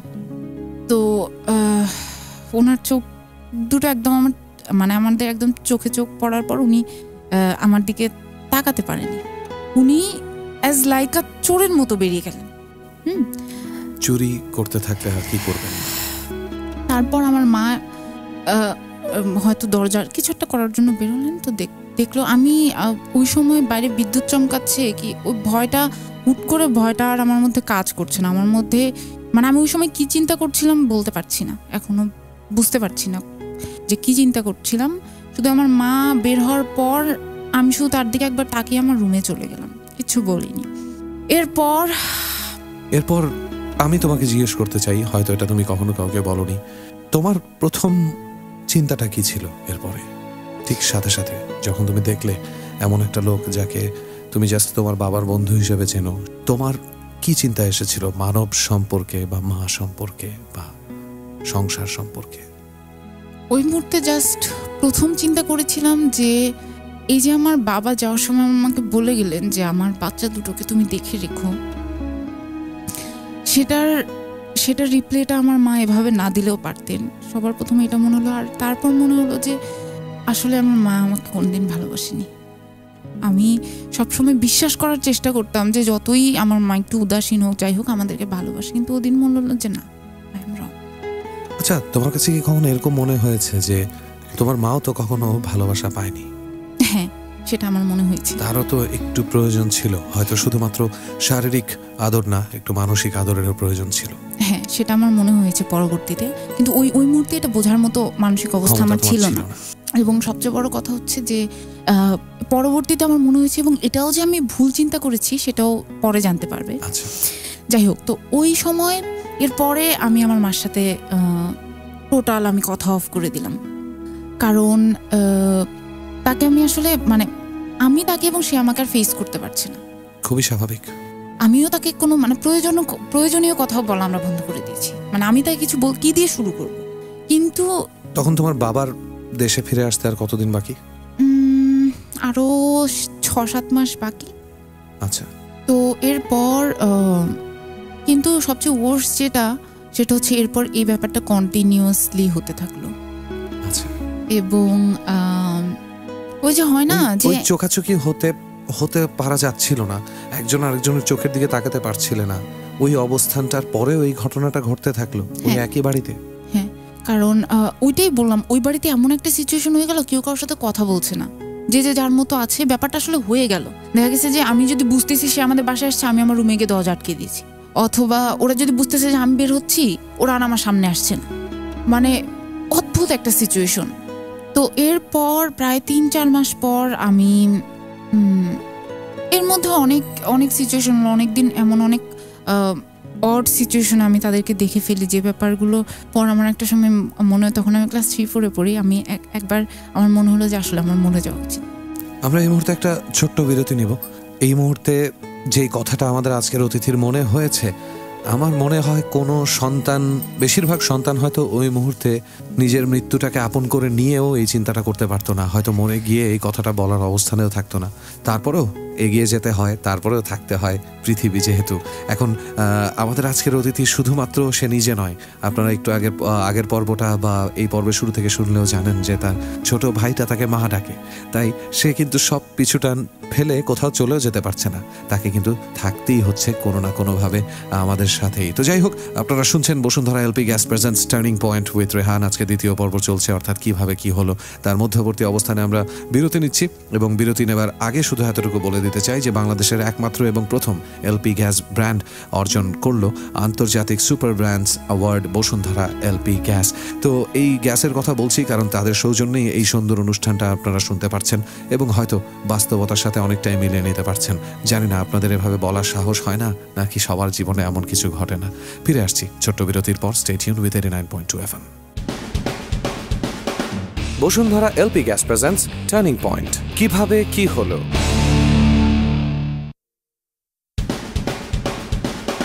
Bashundhara LP gas presents turning point. কীভাবে, কি হলো?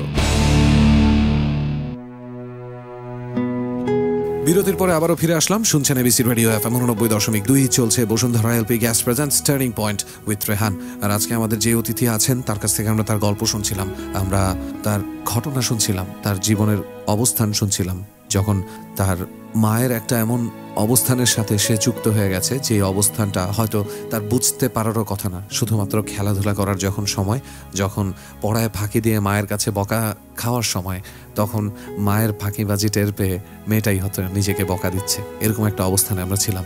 তারপরে তারপরে কীভাবে আগালে তুমি? তারপর আসলে এই আমার জীবনের ওই অংশটুকু আমার জীবন থেকে, আমি বললাম না, এটা আসলে আমার জীবনে একটা টার্নিং পয়েন্ট কারণ ওই যে ওই ওই সময়টুকু আমার জীবন থেকে আসলে সব কিছু নিয়ে চলে গেছে। এরপর আমি আমি আর কখনো মানে স্বাভাবিক আচরণ করতে পারতাম না। আমি সব সময় পালিয়ে পালিয়ে থাকতাম। আমার মনে হতো কারণ ইতিমধ্যে আমাদের আশেপাশের বাসার মানে যেহেতু একটা কোয়ার্টার আমরা উনিশ বছর এই জায়গায় ছিলাম সবাই একটা ফ্যামিলি একটা গ্রামের মতো। ভালো রকম একটা মানে কি বলব একটা পরিবার অনেক বড় সড়ো একটা পরিবার। তো আশেপাশে সব মানুষ জেনে গেছে এবং দেখা গেছে যে মানে আমি হয়তো সিঁড়ি দিয়ে নামছি বা কিছু করছি পাশে পাশে আন্টিরা হয়তো এই ব্যাপারটা নিয়ে আলোচনা করছে যে ওর মা তো এরকমই সে। এই জিনিসগুলো আসলে আমি আমার মনে হয় যে এখন আমি এতটা স্ট্রং আমার এখন আসলে কোনো কিছুতে কান্না পায় না। এখন এই অবস্থায় এসে কারণ আমি জীবনে এত কেঁদেছি ওই সময়টাতে। প্রত্যেক দিন রাতে প্রত্যেক দিন দিনে যখনই আমার মনে হতো যে আমি আসলে কোথায় আছি কেন আছি আমি আসলে এখান থেকে কোথাও চলে যেতে চাই। এবং একবার এমন হলো যে আমি বাসা থেকে বেরিয়ে গেলাম। আমার মনে হলো যে আমি আর নিতে পারছি কোন ক্লাসে তখন ফোরে আমার বাবা তখনও ফেরেনি বেরিয়ে গেলাম। তো আমি সিঁড়ি দিয়ে নামছি এমন মানে আমি সব কিছু ব্যাক প্যাক করে বেরিয়ে যাচ্ছি। এমন সময় আমাদের ল্যান্ডলাইনটা বেজে উঠল। এবং আমি বুঝলাম বাবা ফোন দিয়েছে। আমি ব্যাক করে আবার আব্বুর ফোনটা ধরলাম কোথায় তুমি? হ্যাঁ আব্বু আমি তো বাসায় এই তো স্কুল থেকে আসছি এই হচ্ছে সেই হচ্ছে। তুমি কিন্তু ঠিক মতো নিজের খেয়াল রাখো খাওয়া দাওয়া করো আমি তো আব্বু আর দুই তিন মাস পর চলে আসব এসে। আচ্ছা। তো এইরকম মনে তো আমার ঠিক তখনই কলটা আসতে হলো। হ্যাঁ আমার জীবনে এই ধরনের কিছু খুব এই ধরনের কিছু সিচুয়েশনের জন্য হয়তো আমি এখন পর্যন্ত থেকে গেছি। এই জন্য আমি বলি যে ওনার হয়তো কোথাও না কোথাও কিছু একটা থাকে। আর শ্রোতা মধ্যে আপনারা কি বুঝতে পারছেন যে একটা বাবাও চাইলে নিজের মধ্যে মা সত্তা তৈরি করতে পারে? যদি মা সত্তার অভাব দেখা যায় কোনো একভাবে। হ্যাঁ তারপর উনি কল করে বলার পরে কি তোমার মানসিকতা বদলে গেল অনেকটাই? হ্যাঁ আমি আর গেলাম না। আমি আর গেলাম না। কিন্তু আমি আমার ছোট ভাইটাকে আর নিয়ে আসলাম না। কারণ আমি চাই নাই যে ও এই সিচুয়েশনগুলো দেখুক। খুবই স্বাভাবিক। ওকে আর আমি আনার কথা বললামও না আমি ইনফ্যাক্ট সাজেস্ট করলাম যে ওখানেই থাকুক। তো এরপর আমার মার সাথে মাকে আমি একসময় নিতে না পেরে আমি তাকে গিয়ে জিজ্ঞেস করলাম যে কেন এটা হচ্ছে কেন এমন করছ? আমি তাকে জাস্ট এভাবে জিজ্ঞেস করলাম যে উনি কেন আমাদের বাসায় আসে? উনি আমাদের বাসায় আসুক এটা আমার ভালো লাগে না। উনি যেন আমাদের বাসায় না আসে। তো সে আমাকে বলল যে মানে সে আমার সাথে খুব রুডলি বিহেভ করল যে তুমি ছোট মানুষ এত কিছুতে তোমার নাক গলানোর দরকার নেই। এই নিয়ে নিয়ে। আচ্ছা। এভাবে বলল। এখন তুমি ছোট মানুষ। হ্যাঁ। তো তারপর আমি বুঝলাম যে আসলে তাকে বলে কোনো লাভ নেই। তো এরপর আমার বাবা ফিরে এলেন এক বছর পর। তো যেহেতু আশেপাশে সব মানুষ জেনে গেছে তো আমার বাবাও জানতে পারলেন ব্যাপারটা। এবং আমার বাবা চলে আসার পরও তাদের রিলেশনটা ছিল কিন্তু বাইরে। আচ্ছা। তো আমার বাবা আমাকে আমি আমার বাবার সাথে কোনোদিন মিথ্যে কথা বলিনি। আমার বাবা আমাকে ডেকে নিয়ে জিজ্ঞেস করলেন যে আমাদের পাশে কি কেউ আসতেন উনি তো আর আমাকে ওভাবে জিজ্ঞেস করতে পারেন জিজ্ঞেস করলেন। তো আমি তাকে বললাম যে না এরকম কিছু না। আমি এরকম কিছু কেন তুমি এই কথাটা বললে? ওই যে বললাম যে এটা শুনলে তো মানে এমনিতে ছোটখাটো ব্যাপার কিছু ঘটে যাবে বাড়ির ভেতর এই ভয়ে। হ্যাঁ ছোটখাটো ব্যাপার নিয়ে তাদের এত বেশি হয়ে যায় এটা শুনলে তো একজন একজনকে খুনি করে ফেলবে এই ধরনের একটা ভয় ছিল আমার মধ্যে। তো আমি বললাম না। কিন্তু আসলে এরপর যেহেতু আমার মা লেট করে বাড়ি ফিরতেন এই সেই হ্যান সব কিছু মিলিয়ে আহ, একটা সময় তাদের সেপারেশনটা হয়ে গেল। হয়ে গেল শেষ পর্যন্ত। এবং আমার বাবা কিন্তু চেষ্টা করেছিলেন। তারপরেও? হ্যাঁ তিনি বলছিলেন যে দেখো যা হয়েছে হয়েছে আমি সব কিছু মেনে নিব। আমার ছেলে মেয়ে দুটোর জন্য তুমি আমার সাথে থেকে যাও কিন্তু আমার মা থাকেনি তিনি একটা সময় একটা দিন আমার বাবা সেদিন ছিলেন না আমি ওই দিনের কথাটা অবশ্যই বলব। তখন আমি ক্লাস ফাইভে পড়ে আর তখন আমার পরীক্ষা মাত্র শেষ ছুটি চলছে। আচ্ছা। আমার মা হঠাৎ করে সব কিছু গুছাচ্ছে। আমি বুঝতে বুঝতে পারছি না কেন। তো সন্ধ্যার দিকে সারাদিন সব কিছু গুছিয়ে টুছিয়ে সন্ধ্যার দিকে সে আমার ভাইকে নিয়ে বলছে যে, আমি যাচ্ছি। আমার বাবা ছিল না। আমি বললাম যে, কোথায় যাচ্ছ? তো বলতেছে যে, আমি আলাদা বাসা নিয়েছি, ওখানে চলে যাচ্ছি। তুমি তোমার বাবার সাথে থাকো, আমি সিয়ামকে সাথে করে নিয়ে যাচ্ছি। সিয়াম তো এই কথা শোনার সাথে সাথে ও যে এসে আমাকে জড়ায় ধরলো ও আর আমাকে ছাড়েন না মানে এমন অবস্থা যে ওকে টেও আমার জামা কাপড় সহ টেনে নিয়ে যাচ্ছে মানে ওকে কোনোভাবে ছাড়ানো যাচ্ছে না। আমিও তো ওকে ছাড়বো না। আমি একটা সময় গিয়ে বললাম ঠিক আছে তোমার আমি তো বুঝ- বুঝতে পারছি যে সে কেন যাচ্ছে। আমি তো সময় বললাম ঠিক আছে তোমার যেতে হলে তুমি যাও ওকে নিয়ে যাওয়া যাবে না। তারপর সে নিয়ে গেলেন জোর করে? জোর করে নিয়ে গেল ওকে। এরপর ওই দিন রাতে নেই প্রথম আমি দেখলাম আমার ওই সংসারটা আসলে আমার ছিল। আমার মায়ের কখনো ছিল না। আমার ছোট ভাই থেকে শুরু করে বাসায় কি রান্না হচ্ছে, আব্বু খাচ্ছে কি না ছোট ভাই খাচ্ছে কি না সব কিছু আমি দেখতাম। আমি প্রথম দেখলাম যে আমি অনেক চেষ্টা, আমি আমার মাকে অনেক বুঝিয়েছি।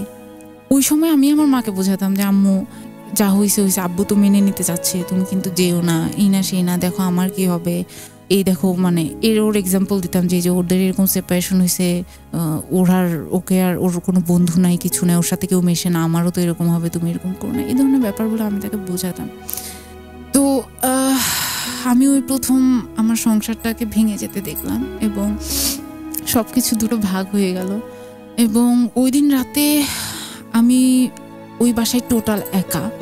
আমার বাবা যখন শুনলেন যে আমার মা চলেই গেছে, হয়তো গত রাতে ওদের মধ্যে এই ব্যাপার নিয়ে কোনো কথা হয়েছে, আমি হয়তো জানি না। আমার বাবা ওই রাতে বাসায় ফিরলেন না, সে কোথায় গিয়েছিলেন আমি জানি না। আমি ওই বাসায় ওই দিন টোটাল একা। ওই দিন আমার মনে হচ্ছিল যে কেউ এসে আমাকে একটু বলুক যে ঠিক একটুকু বলুক যে সবকিছু ঠিক হয়ে যাবে। এরকম হয় রাগারাগি হয় আবার চলে আসবে তোমার মা সব। But I was totally alone এবং আমি কান্না করি আব্বুকে ফোন দিচ্ছি বারবার আব্বু আমার ফোন পিক করতেছে না। ওইরকম সিচুয়েশনে আমার ছোট ভাইটা ওখানে গিয়ে ফোন দিচ্ছে যে আব্বু তুই কই? আমি থাকতে পারতেছি না তুই আয়। আমার মনে হচ্ছিল যে আমি আসলে মরে যাই এর চেয়ে ভালো। আর ওই ওই মেয়েটা ওই সময় চলে যায়। আমার ক্লাস ফাইভে যখন পরীক্ষা, তারপর ওই মেয়েটা চলে যায়। ওর বাবা মা এসে ওকে নিয়ে যায়, ওকে ই করার জন্য। তো আমি এই রুম থেকে ওই রুম ওই রুম থেকে ওই রুম ছোটাছুটি করতেছি। পুরো রুম ফাঁকা। আমার ছোট ভাইটা দৌড়াদৌড়ি করে, ও নাই, আব্বু নাই, আম্মু নাই। আম্মুর দু একটা কাপড় চোপড় রেখে গেছে। আমি ওগুলো ভাজ করতেছি, গুছাচ্ছি। এটাও ভাববার সাথে সাথে ভাবতেছি যে আম্মু তো চলে গেল, এখন আমি একা রান্না করব কীভাবে? আমি তো কোনদিন রান্না করিনি, আব্বুকে কীভাবে খাওয়াবো? এগুলোও চিন্তা করতেছি। তো ওই রাতটা আমি আমার জীবনে কোনদিন ভুলবো এরকম রাত কারও জীবনেই না যাক। একটা একটা মা কীভাবে পারে, তার সন্তান কি রান্না করে খাবে, এটা চিন্তা না করে চলে যেতে। নিজে মায়ের অবস্থানটা নিতে পারেনি, অথচ যে মা হয়ে গেছে, তার সন্তানটা তার কাছ থেকে কীভাবে কেড়ে নিয়ে যেতে পারে। আর এই অবস্থায় পড়ে থাকা একটা মা বা একটা মেয়ে বা একটা সত্তা বা একটা মানুষ যাই বলি না কেন, তাকেও কোন অভিমানে তার বাবাও একা রেখে চলে যাবে, যে কাঁধে মাথা দিয়ে কান্না করার পর্যন্ত কেউ থাকবে না। এমন একটা সময় কেন পার করতে হবে? আমি জানি না, আমি জানি না। আপনারা যারা এই ধরনের কোনো চিন্তা করেন? একটু দয়া করে মনে রাখবেন, আপনারা পৃথিবীতে যাদেরকে এনেছেন, তাদের দায়িত্বটা আপনাদের। আপনারা তাদেরকে এরকম সিচুয়েশনে ফেললে আপনাদের আইনানুগভাবে শাস্তি হওয়া উচিত। কিন্তু জানেন, মজার ব্যাপার, আজকে যদি আমি এই সন্তানটা যে আমার সামনে বসে আছে, তাকে বলি যে আমি তোমার বাবা মাকে শাস্তি দিতে চাই, সে আমাকে সবার আগে আটকাবে। শাস্তিটা সে আমাকে দেবে, হয় নিজে নেবে। কিন্তু আপনাদের শাস্তিটা সে দেবে না। তো যাই হোক, এরপরেও যদি কিছু হওয়ার থাকে, তাহলে আমাদেরকে বলো, এরপর কি হয়েছিল? হ্যাঁ পরের দিন আমার বাবা এলো। তো আমার মনে আছে, প্রথম আমি, আমার বাবার নেই ডিউটি যাবে। প্রথম আমি আব্বুর জন্য খাবার করতে গিয়ে হাতটা পুড়িয়ে যাচ্ছে, তাই অবস্থা। তো আব্বু এসে বলছে যে, তাহলে একটা কাজ করি, তোমার দাদিকে নিয়ে আসি। তো আমার একটা সময় মনে হলো যে তাকে আনার চেয়ে আমি প্রতিদিন তোমাকে পোড়া খাবার দাবার খাওয়াই সেটাই ভালো না আমি কিছু বললাম না কারণ আসলে আব্বুর সমস্যা হচ্ছিল খাবার দাবার সব মিলে মিলে আমিও তো স্কুলে আমি ওই সময় মানে বেশ এক মাসের মতো দেখা গেছে যে আমি ভোর ছয়টার দিকে উঠে কিছু একটা করে আব্বুর জন্য রেখে আবার আটটার দিকে স্কুলে যাচ্ছি আবার এসে করতেছি। মানে আমি তো কোনদিন আমি আসলে তার আগে জানতাম না যে আমাদের বাসার কিচেন কোন দিকে অথবা কিচেনে কোথায় কি আছে। আমি এই মুহূর্তে না বলে পারছি না যে আপনাদের মধ্যে অনেকেই আছে আমার সামনের অতিথির আহ, যে বয়স, সেই বয়সেরই অনেকে আছেন। আপনারা হয়তো বয়ফ্রেন্ডের ঘুম ভাঙাচ্ছেন কেউ কেউ হয়তো সকাল ছয়টায় উঠছেন কারণ ফটোশ্যুট করতে যেতে হবে। কেউ হয়তো মন খারাপ করছেন কারণ হচ্ছে আজকে ফেসবুকে ছবিটাতে বেশি লাইক পড়েনি। কেউ হয়তো এই কারণে মন খারাপ করছেন যে আমার বাবা আমাকে এই জন্মদিনে এত টাকার এটা কেন কিনে দেয়নি? আর আমার সামনে যে বসে আছে, সে সকাল ছয়টায় তার কাজকর্মগুলো করে বাবার খাবার তৈরি করে দিয়ে তারপরে স্কুলে যাওয়ার চিন্তা করতো। আপনার কি নিজেকে অনেক ছোট লাগছে? লাগুক, আপনি ছোটই। তারপর? তো তারপর কারণ কি ওই যে বুয়া টুয়া কই পাওয়া যায় এগুলো তো আমরা কিচ্ছু জানি না আমার বাবা আমি টোটালি এগুলো জানি না আমরা কি করব? তো পাশে পাশে আন্টিরা যারা ছিলেন তারা মাঝে মধ্যে খাবার দাবার রান্না করে দিয়ে যেতেন। আচ্ছা। মানে আমাকে সবাই খুবই আদর করতো কারণ মানে ওই হয় না যে আমার কোনো আসলে শৈশব কিংবা কৈশোর নেই। আমার এইসবের মধ্যে তুমি খেয়াল করেছ কিনা এইসবের মধ্যে কিন্তু ওই যে একটা শিশুকাল একটা বন্ধু বান্ধব খেলা এই জিনিসগুলো কিন্তু অলরেডি নাই হয়ে আমি গেছে কিন্তু এই কারণেই নাই বলেছি যে একটা মেয়ে শিশুকাল থেকে সরাসরি মা। হ্যাঁ নাই হয়ে গেছে। তো ওই যে মানে কোয়ার্টারে থাকলে যেটা হয় এ ওর সাথে একটু কথা বলছে ওর সাথে একটু মানে এই ছেলের সাথে কথা এই ধরনের রিউমার আমার নামে কখনো ছিল না। কারণ সবাই শুধু আমার নাম যেহেতু আমরা উনিশ বছর ধরে ওখানে আছি আমার মাকে আমার নাম ধরে ডাকতো যে এর মায়ের মা। তো সবাই শুধু আমার নামটা জানতো কিন্তু আমার চেহারা কেউ চিনতো কারণ আমি কখনো বাইরে বেরোতাম আচ্ছা। যার কারণে সবাই আমাকে খুবই আদর করতো। তো সে চলে যাওয়ার পর ওই তো একটু রান্না বান্না করে দিয়ে যেত এসে করতো। আমি আবার ওগুলো আব্বুর জন্য রেখে দিতাম। আচ্ছা। তো এরকম হতো। তো এরপর যেটা হলো আমার দাদি আসলো। আসার পর আমার দাদি আমার ফুপিকে নিয়ে আসলো। আসার পর কিছুদিন ভালো। তারপর একদিন সে আমাকে বলল যে হুট করে সে আমাকে বলছে যে তুই এখান থেকে চলে যা। তোমাকে? হ্যাঁ। আমাকে বলছে তুই এখান থেকে চলে যা। আমি বললাম যে কেন? আমি কেন চলে যাব? বলছে যে তোর মার জন্য আমার ছেলের জীবনটা নষ্ট হয়েছে আমার ছেলেকে আমি এখন বিয়ে দিব। তোর মতো এত বড় মেয়ে দেখলে আমার ছেলেকে কেউ বিয়ে করবে না। এটা হচ্ছে তার যুক্তি। তো আমি আমার খুব মন খারাপ হলো কথাটা শুনে। তো আমি তাকে আর কিছু আমার মনে হলো তার সাথে তর্ক করাটা অনর্থক আমি তাকে কিছু না বলে চলে এলাম। কোথায় চলে এলে? আমার রুমে। আচ্ছা। যেটা আমি ইউজ কিছু একটা হলে আমি যেটা করতাম আমার রুমে এসে বালিশের নিচে মাথা ঢুকায় চিৎকার করে কাঁদতাম। যে বালিশের নিচে জায়গা কিছু মানুষের এতটুকুই তো জগৎ। হ্যাঁ। তো এরপর আহ, আব্বু আসলো। আব্বু আসার পর আমি আব্বুকে এই কথাটা বললাম যে দিদা তো আমাকে এভাবে বলছে আব্বু আমার ব্যাপারটা খুব খারাপ লাগছে। তা বলছে যে উনি ওনার বয়স হয়ে গেছে এইসব কথা কোনো কিছু না। না ওনার বয়স যখন কম ছিল তখন উনি এসব কথা বলতেন। তো তারপর যেটা করলেন আমার ওই হয় না কলোনিতে একটা ছেলে ছিল যে আমাকে খুব পছন্দ। মানে ওই হয় না ক্লাস ফাইভ সিক্সে পড়লে বাচ্চাদের যেটা হ্যাঁ। না আমি কিন্তু এই ব্যাপারগুলো থেকে একদম আলাদা ছিলাম। আচ্ছা। কারণ আম, আমি আমার মধ্যে এই ধরনের ফিলিংসগুলো কাজই করতো না। আমি এত ডিস্টার্ব থাকতাম এত ডিপ্রেসড এত নয়েজ আমার ভেতরে এত আপসেট এইসবের মধ্যে আমার। কিন্তু ও কি করতো? একে ওকে তাকে বলতো যে এই মেয়েটা তো সুন্দরী সে বলতো। আচ্ছা আচ্ছা। তো আমার দিদা কোনোভাবে এটা বুঝতে পারছে। পারার পর সে আমার আব্বুর কাছে এগুলো বলতো যে তোর মেয়ে তো এইসব করে সেসব করে এই করে। আমি কিন্তু টোটালি মানে ওই ছেলে ইনফ্যাক্ট আমি আজও ওর নাম জানি না ওর নাম আজ পর্যন্ত জানোই না না। তো তারপর আমার দিদা আর আমার ফুপি মোটামুটি আমার বাবাকে কনভিন্স করে ফেলল যে আমাকে বিয়ে দিয়ে দিবে। আবারও সেই একই একই। একই একই cycle begins again from the same family এবং আমি একদিন তখন আমি সিক্সে পড়তাম সিক্সের শেষের দিকে সেভেন উঠবো একদিন বাসায় অনেক লোক এসছে আমি ঢুকেই দেখি অনেক লোক আমি স্কুল ড্রেস পরা লিটালি দুইটা বেনি করা, বেনির মধ্যে ফিতা দেয়া, আমি স্কুল ড্রেস পরা বাসার মধ্যে দুটো লোক এসছে এবং আমার দিদা আমাকে বলতেছে যে গিয়ে জামা কাপড় চেঞ্জ করে একটু আসো আজকের অনুষ্ঠানটা আমরা এই অবস্থানেই শেষ করব। আমরা দেখেছিলাম একটা বাল্যবিবাহ থেকে এই সংসারটা শুরু হয়েছিল এবং কোনো একজনের কারণে সেই বাল্যবিবাহই আবারও ঘটতে যাচ্ছে বোধ হয় আমরা জানি না কি হবে, আমরা জেনেছি শুরুটা কেমন ছিল, আমরা জানলাম কীভাবে কি হলো এবং তারপরে আমরা একেবারে সেই সংশটা তো চলে আসব আগামীকাল। তাই আপনাকে শুনতে থাকতে হবে এবিসি রেডিও এফ উননব্বই দশমিক দুই। শুনছেন আপনারা এই মুহূর্তে Bashundhara LP gas presents turning point with Rehan এবং অনেকগুলো টার্নিং পয়েন্ট বোধ এর মধ্যে আপনারা পেয়ে গেছেন। তো আপনাদের সবাইকে যাবার আগে একটু বলে দিয়ে যেতে চাই। যে আমরা সবসময় চেষ্টা করব আমরা সুরক্ষা নিজেদের বজায় রাখতে। সবসময় মানুষের জীবনে এই অবস্থানটা থাকে না, কিন্তু তারপরেও যতটুকু সম্ভব ততটুকু আমরা ঠিকঠাক মতন করব। তাই সবাইকে বলব, এই যে একটা বাচ্চা আমি একটু আগে বলছিল যে বাচ্চা অবস্থায় সে রান্না বান্না করার চেষ্টা করেছে, সেটা কিন্তু খুব কষ্টের একটা ব্যাপার। সেটা কিন্তু আমাদেরকে জানতে হবে যেটা করতে আমরা দিতে পারি না। আর আপনারা যারা রান্না বান্না করেন, তাদের বলে যাচ্ছি, রান্না শেষে রেগুলেটরের সুইচ ঠিকঠাকভাবে সবসময় বন্ধ করবেন এবং বন্ধ হয়েছে কিনা সেটার খোঁজ নেবেন। এতটুকু সতর্ক বাণী দিয়ে বড়জোর আমি আপনার জীবনের শারীরিক অবস্থান ঠিক রাখতে পারব। কিন্তু আপনি যদি ঠিক না থাকেন, প্রত্যেকটা মন নষ্ট হবে। তাই আজকের মতন এখানেই শেষ করছি। আগামীকালকে আবারও কথা হবে। আপনারা শুনছেন এবিসি রেডিও এফ এর নাইন পয়েন্ট টু। আজকের মতন শেষ হলো Bashundhara LP gas presents turning point with Rehan. Bashundhara LP gas presents turning point.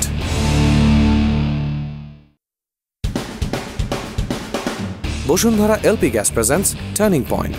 কোথায় গিয়ে দাঁড়াল? শুনছেন এবিসি রেডিও এফ এম উননব্বই দশমিক দুই, আর চলছে Bashundhara LP gas presents turning point with Rehan.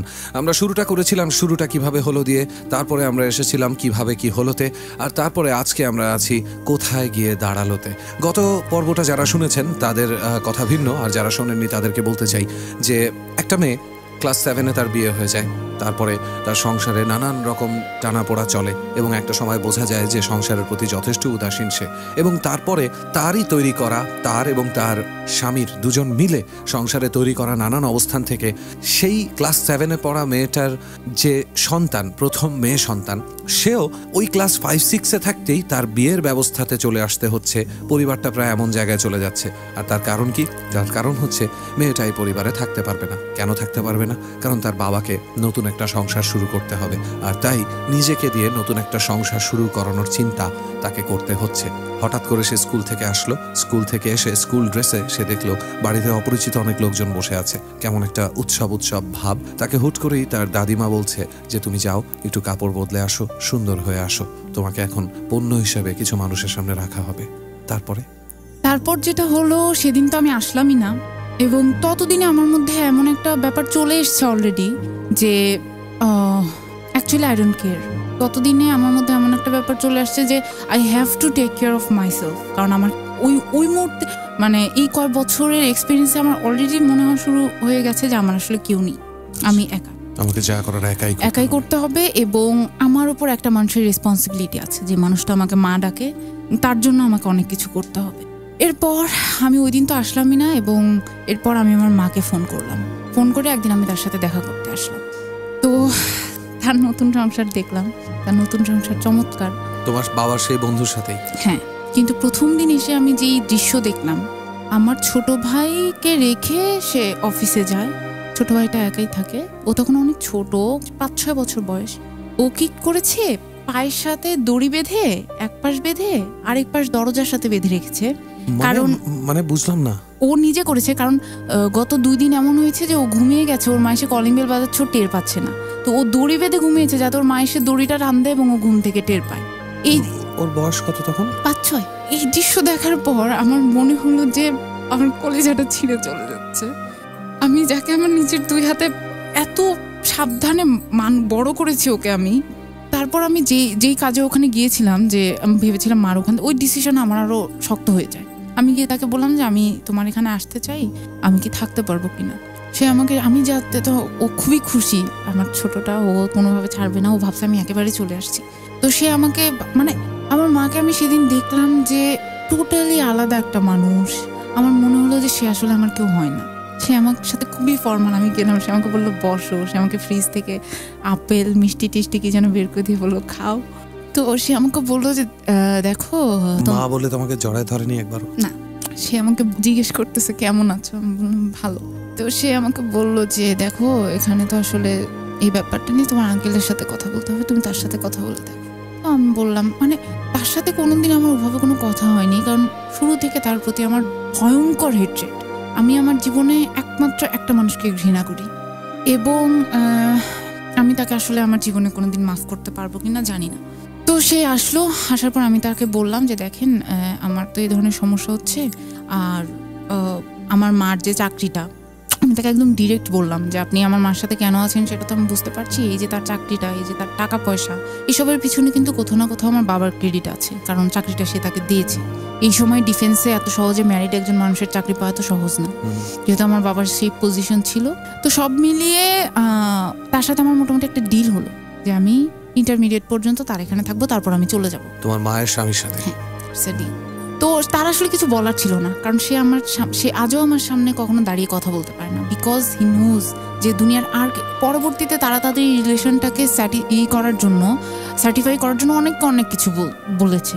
যে আমার বাবার আসলে দোষ ছিল এই ছিল সেই ছিল। আমি সবসময় আসলে চুপ থাকি। আমি কখনো কাউকে এক্সপ্লেন করিনি। এই যে আজকে প্রথম হয়তো আমি এক্সপ্লেন করছি। আমি কখনো কাউকে আমি ভাবছি আচ্ছা ওদেরটা ওরা যা যেভাবে যেভাবে যে ভালো থাকে থাকুক। কিন্তু একমাত্র আমার সামনে এসে সে বলতে পারে না বিকজ আই নো ইট আমি একদম শুরু থেকে সব কিছু জানি। তুমি সত্যের মানে সত্যটা তোমার সামনে ঘটেছে। একদম যার কারণে সে আমার সামনে আর কিছু বলল না আমি ওখানে থাকতে শুরু করলাম। তো এর মধ্যে আমার আমি ওখানে গিয়ে প্রথম যেটা করলাম আহ, আমার ছোট ভাইটাকে বিকেএসপিতে দেয়ালাম আচ্ছা। ওখানে তাকে ভর্তি করানোর ব্যবস্থা করলাম ওকে হোস্টেলে দিয়ে দিলাম। তারপর আমার ছোট ভাইটাকে দেওয়ার পর আমি একটু মানে একটু শান্তি ফিল হলো আমার যে একটা জায়গা হয়ে গেল। তো এরপর এভাবে চলতেই থাকছে এবং ওখানে যেই সিচুয়েশন মানে আমার মার যে হাজবেন্ড পরবর্তীতে ওনার ফ্যামিলিতে জানতো না যে আমার মার দুটো সন্তান আছে। আচ্ছা। একদিন ওনার ওই হাজবেন্ডের বোন নাকি কেউ একটা বাসায় এসছেন আমার মা মানে ওনারা জিজ্ঞেস করছেন এই মেয়েটাকে ওই বাসায় তিনটা রুম ছিল তো আমি একটা রুমে থাকতাম বাইরের সাইডের রুমটাতে এবং এটা কিন্তু অনেক বড় আরেকটা চেঞ্জ আমার যদিও এত কিছুর মধ্যে এটা অনেক ছোট ব্যাপার তারপরও ওই যে আমার বাবা আমাকে যেভাবে রাখতেন ওখান থেকে বের হয়ে এসে খুব সিম্পল একটা রুমে মানে খুব বাসা সবচেয়ে ছোট যেই রুমটা ভালো কথা তুমি তো একটা জিনিস এড়িয়ে গেলে। তুমি যে চলে আসলে এই চলে আসাটা তো শুধুমাত্র তোমার সিদ্ধান্ত ছিল না তোমার বাবার তখন অবস্থানটা কি ছিল? হ্যাঁ সেটা আমি বলছি সেটা আমি এখন বলছি। আমি চলে আসার পর বাবা আমাকে ফোন দেয়নি অনেক কেন দেয়নি সেটা আমি বলছি। তো তারপর ও তো গেস্ট আসছে আমাকে ডেকে নিয়ে পরিচয় করিয়ে দিল। ও হচ্ছে আমার বড় বোনের মেয়ে। ওর বাবা মানে ওর বাবা মানেই তো আমার কাছে থাকে। একদম ঠিক কথা বলেছে। তো ওর আসলেই বাবা মানেই এবং তারপর আমি কিছু বলিনি কোনো রিয়াকশন দিইনি। আমি চলে গেলাম আমার রুমে এবং ওই বাসায় হাই ওয়াজ মানে এরপর আজ পর্যন্ত কোন আমি আর আমার আর কোনো ঘর হয়নি। আমার সবসময় মনে হতো ওখানে আমি একজন অ্যানোনিমাস উটকো একটা মানুষ। আশ্রিতা। এবং আমি সবসময় ভয় থাকতাম এটা ধরবো সেটা আমার সবসময় মানে আই ওয়াজ টোটালি ফরওয়ার্ড যে ওটা আমার মা। এটা ধরবো সেটা ধরবো কি করতে কি হবে এই ধরনের একটা ব্যাপারের মধ্যে আমি সবসময় থাকতাম। তো একদিন রাতে যেটা হলো সেটা হচ্ছে আমি ঘুমোচ্ছি তো প্রায় ততদিনে আমার রাতে ঘুমানোর অভ্যাস চলে গেছে। আমি রাতে ঘুমাই না দিনের বেলা ঘুমাই। সারা রাতি প্রায় জাগনা থাকি তো একদিন আমার মা যে আসবেন, উনি এসে আমার দরজার বাইরে নক আমরা এই মুহূর্তে একটা ছোট্ট বিরতি নেব। বিরতির পরে আমরা কি শুনব জানি না, সেটার জন্য হয়তো আপনার মানসিক একটা প্রস্তুতির প্রয়োজন আছে। তাই এতটুকু বলছি, শুনতে থাকবেন যদি সৎ সাহস থাকে। আপনাদের জীবনে তো অনেক কিছুই হয়, নিজেকে অনেক কষ্টর মধ্যে আছেন বলে আপনারা সব সময় প্রমাণ করতে চান। এবং সেটা আমি বলছি না, সামাজিক মাধ্যমে ঢুকলে এক একটা স্টেটাস দেখলেই বোঝা যায়। যখন কেউ লেখে, কতটা কষ্টে আছে? আমি মনে মনে ভাবি যে, বাহ ফেসবুকে স্টেটাস দেওয়ার অবস্থা যার আছে, সে আর কতটুকু কষ্টে থাকতে পারে? প্রচার করতে যেতে পারছে, তার মানে প্রকাশ করার জায়গা অন্তত তার আছে।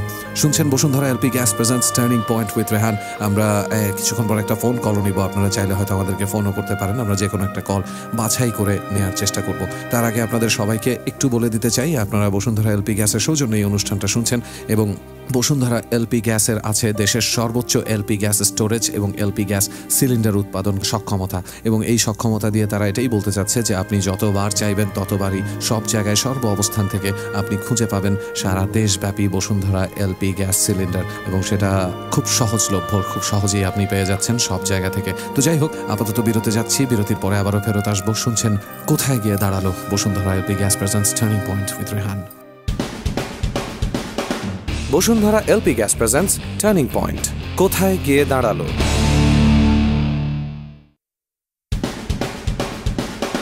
Bashundhara LP gas presents turning point. কোথায় গিয়ে দাঁড়াল? ফিরে আসলাম ছোট্ট বিরতির পর শুনছেন ABC radio F M eighty nine point two আর আমাদের সাথে আজকে আমাদের অতিথি আজকেও আছেন। আজকেই শেষ দিন, অর্থাৎ কোথায় গিয়ে দাঁড়াল সে, সেটাই আমরা আজকে জানব। প্রায় শেষ পর্যায়ে চলে এসেছিলাম যখন গভীর রাতে তার বলতে অবাক লাগছে, আমাকে এভাবেই বলতে হচ্ছে, তার মায়ের স্বামী তার দরজা নক করল, যেখানে সে সাবলেটের মতন, আশ্রিতার মতন, একজন অনাকাঙ্ক্ষিত কারও মতন থাকতো, বড় বোনের মেয়ে হিসেবে পরিচয় দেওয়া একটা মেয়ে। তার তার দরজায় রাত আড়াইটায় কোন পিতৃসত্তা থেকে খবর নিতে আসা হচ্ছিল একটু জানতে পারি। তারপর আমি একটু অবাকই হই। উনি আসলেন, আসার পর আমাকে বললেন যে তোমার তো আমার সাথে ওভাবে কথা হয় না, আমার উপর তোমার অনেক রাগ, দেখো, তোমার মাও তখন ওরকম একটা সিচুয়েশন ছিল, তোমার বাবার সাথে মানে অনেক ধরনের কথা সে আমাকে বলছে।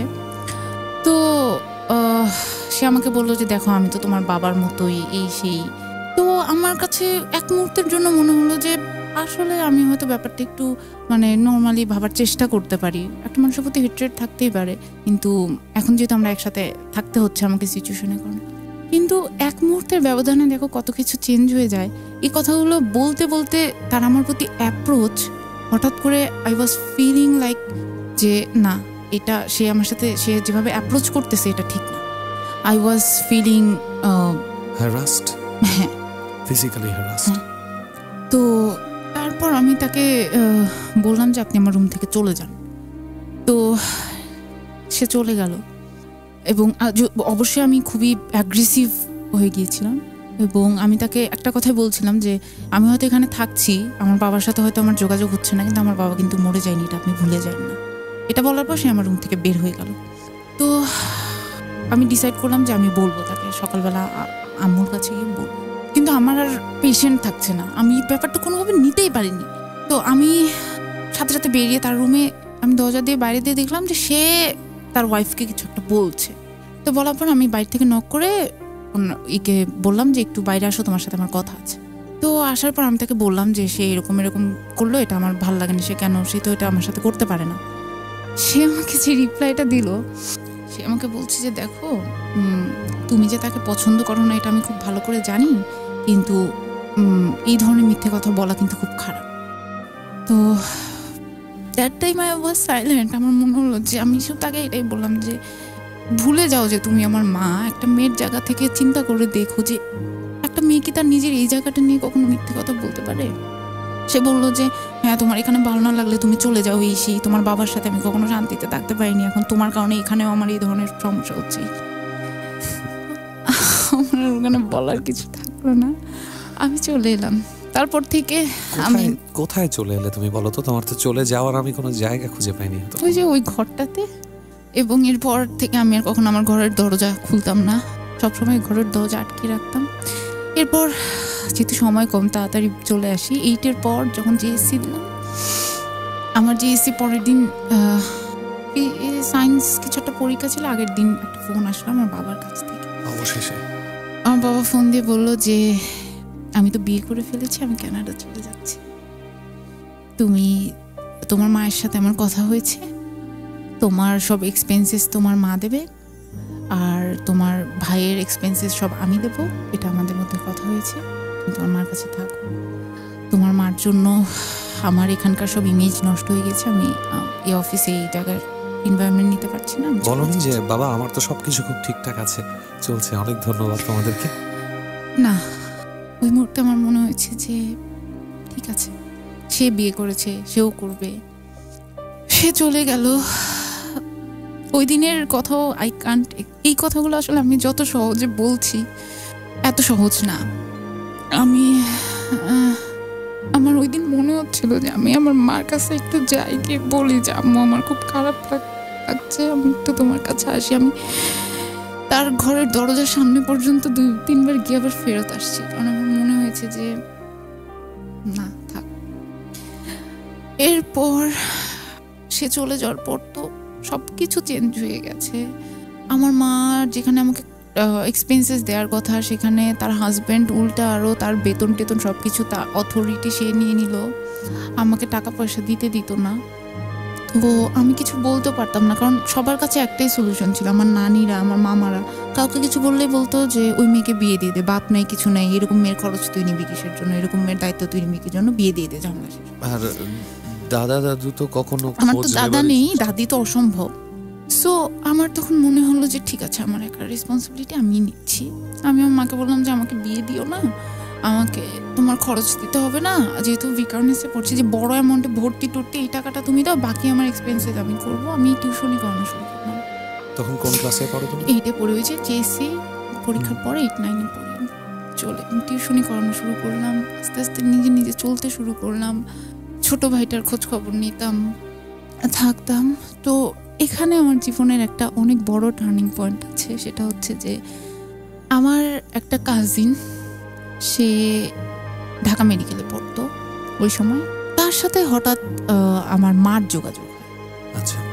যোগাযোগ হওয়ার পর আমার মা তাকে মানে বলে সব কিছুই সে জানতো না এই সব কিছুই তো সে একদিন আমাদের বাসায় আসে। বাসায় আসার পর ওই সময়টাতে আমি কারোর সাথে কথা বলতাম না। আমি স্কুলে যেতাম আসতাম টিউশনি যেতাম আর রুমের মধ্যে থাকতাম একা। আমার একটা ডায়েরি ছিল। আচ্ছা। এবং দ্যাট ওয়াজ মাই এভরিথিং তো ও বাসায় আসতো আসার পর আমার সাথে কথা বলল একদিন। তো যেহেতু আমি সায়েন্সে পড়াশোনা করতাম তো ওই আমাকে উইলিংলি বলল যে ঠিক আছে যেহেতু তুমি সায়েন্সে পড়ছো তোমার এই ব্যাপারগুলো পড়াশোনার ব্যাপারগুলো আমি দেখব। আচ্ছা। তো যেটা হলো আস্তে আস্তে আস্তে আস্তে কিছুদিন পর আমি বুঝলাম যে ও আমাকে একটু পছন্দ করে। আচ্ছা। তো যেহেতু রিলেশনের ব্যাপারে একটা হেট্রেড আমার মধ্যে কিন্তু ও আসার পর একটা ব্যাপার হলো যেটা হচ্ছে যে ওই যে আমার মার হাজবেন্ড উনি আর আমার সাথে কিছু করার সাহস পেত না ওর কারণে। আচ্ছা। তো কারণ ও আমার বাবার ফ্যামিলি থেকে আমার চাচাতো ভাই বিলং করে তো উনি আমার সাথে একটু সাবধানে তখন বিহেভ করতো।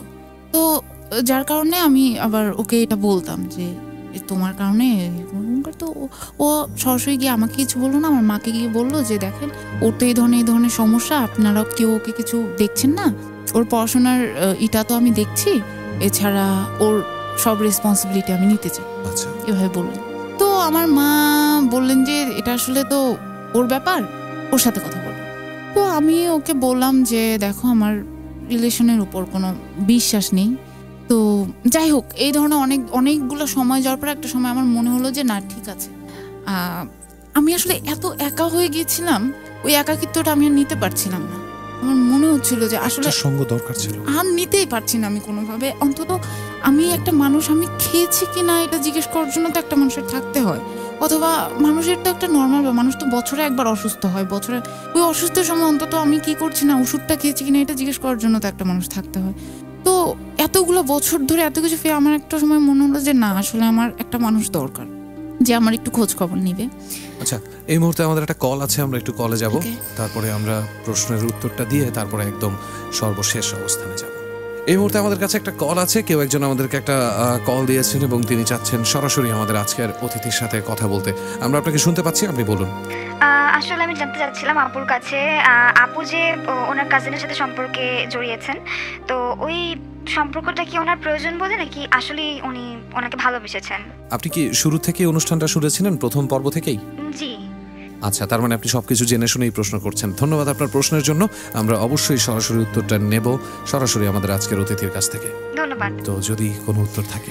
আসলে আহ, দেখো একটা ব্যাপার হচ্ছে যে আহ, প্রত্যেকটা মানুষ আমি রাস্তায় আমরা প্রায় এখন ফেসবুকে একটা ছবি দেখি যে ফুটপাতে দুটো মানুষ একসাথে ঘুমোচ্ছে। হ্যাঁ। খুব মানে তো ওদের ওদের জীবনে কি স্ট্রাগল নেই? ওদের জীবনে তো কঠিন স্ট্রাগল তারপরও কিন্তু ওদের মধ্যে কোথাও না কোথাও একটা ভালোবাসা একটা ইমোশন থেকে যায়।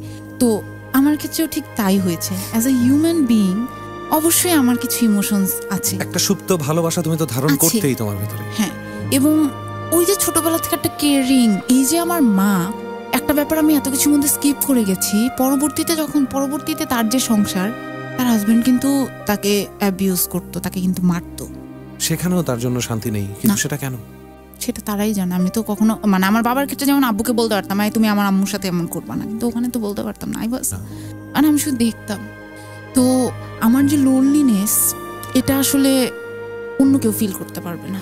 আসলে। সেই একাকিত্বটা এটা কখনো মানে নিজের সাথে না হলে এটা ফিল করা যায়নি এবং ওই একাকিত্বের সময় যখন কেউ তোমাকে এসে বলে যে আমি সব সময় তোমার সাথে থাকব কিংবা আসলে ওর জায়গাটা ও আমার জীবনে আমার বাবার জায়গাটা নিয়ে নিয়েছিল। আমার হঠাৎ করে এসে মানে অনেক দিন আমি কোনো কেয়ারিং পাই নাই তো হঠাৎ করে এসে এত কেয়ারিং এত আমি আসলে একটা সময় একটু উইকই হয়ে যাই এটা সত্য। এবং এটা জীবনের আরেকটা টার্নিং পয়েন্ট যখন আমি তার প্রতি খুবই উইক যখন আমি আমার একটা সময় আমি ডিসিশন নিয়ে নিলাম যে জীবনে তো অনেক করেছি মানুষের জন্য আমার জীবনে একটা আমার নিজের একটা নীতি আছে। কেউ যদি আমাকে ঘৃণা করে আমি আসলে তাকে এত বেশি ভালোবাসি, এত বেশি ভালোবাসি যে সে যেন আমাকে ভালোবাসতে বাধ্য হয়।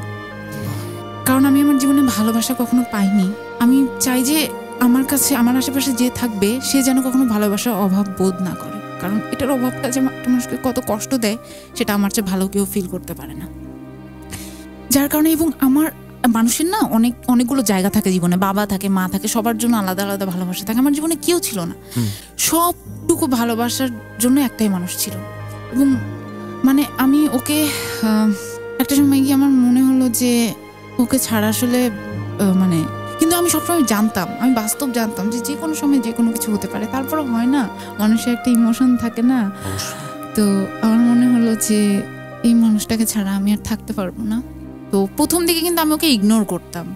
হ্যাঁ ঠিক আছে, আমাকে পছন্দ করে। সে একটা ভাব নিয়ে থাকতাম।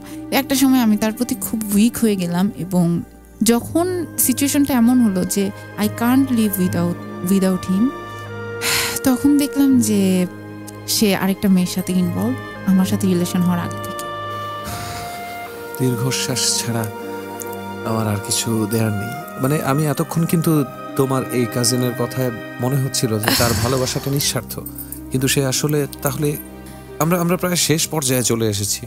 আমরা এখানে জানতে চাচ্ছিলাম আসলে তুমি ব্যাপারটা কোথায় গিয়ে দাঁড়াল? তুমি, অর্থাৎ তোমার ব্যাপারটা, তোমার যে আমিত্বটা বা তুমিটা, সেইটার অবস্থানটা, তো এখানে এসে তারপরে তুমি কি করলে? আমাকে একটু বলবে? হ্যাঁ আমি ওকে অনেকবার আমি কিন্তু রিলেশনে আগে ওকে জিজ্ঞেস করেছিলাম যে দেখো আমার ফ্যামিলি ব্যাকগ্রাউন্ড আমার মধ্যে একটা চিন্তায় ছিল যেহেতু আমার ফ্যামিলিতে এমন কন্ট্রোভার্ট আমাকে কোনো মানে আমাকে কোনো ফ্যামিলি সহজে মানে কোনো ছেলে হয়তো একসেপ্ট করতে পারে কিন্তু কোনো ফ্যামিলি সহজে একসেপ্ট করবে না। ব্রোকেন ফ্যামিলির মেয়ে। মেয়ে তার উপরে তার মার এই ধরনের ব্যাকগ্রাউন্ড এই সেই।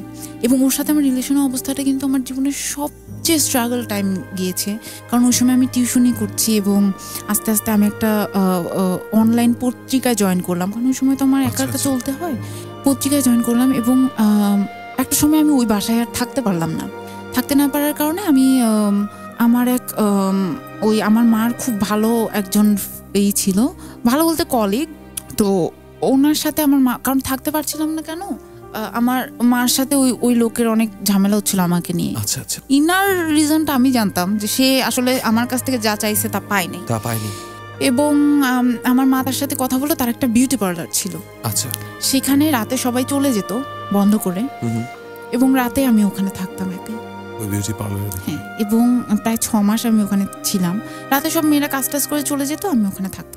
তো এই সিচুয়েশনগুলো আসলে মানুষ এগুলো আসলে বলে এক্সপ্লেন করা যায় না যে ওই সময় আমি কেউ বুঝবেই না। এতটুকুর মধ্যে দিয়ে কেউ যায়নি এবং রাতে কিন্তু ওই বিউটি পার্লারের কারেন্টের লাইন অফ করে দিত। কারণ বিউটি পার্লার একটা আমাদের দেশে একটা ই তো রাতে বেলা তো ওটা অন রাখার নিয়ম নেই। আমি মানে চার্জার লাইট জ্বালিয়ে পড়তাম ওখানে থাকতাম। ওই সময় কিন্তু ওই ছেলেটার সাথে আমার প্রেম চলে এবং ও কিন্তু জানতো আমার সিচুয়েশনগুলো আমি প্রায় ওকে বলতাম যে তুমি আমাকে এখান থেকে নিয়ে যাও আমি থাকব। না তো আমাকে বলতো যে আমি নিয়ে যাব আমার এই তো শেষ হচ্ছে। শেষ হোক শেষ হলে আমি কোথাও জয়েন করলে তোমাকে নিয়ে যাব।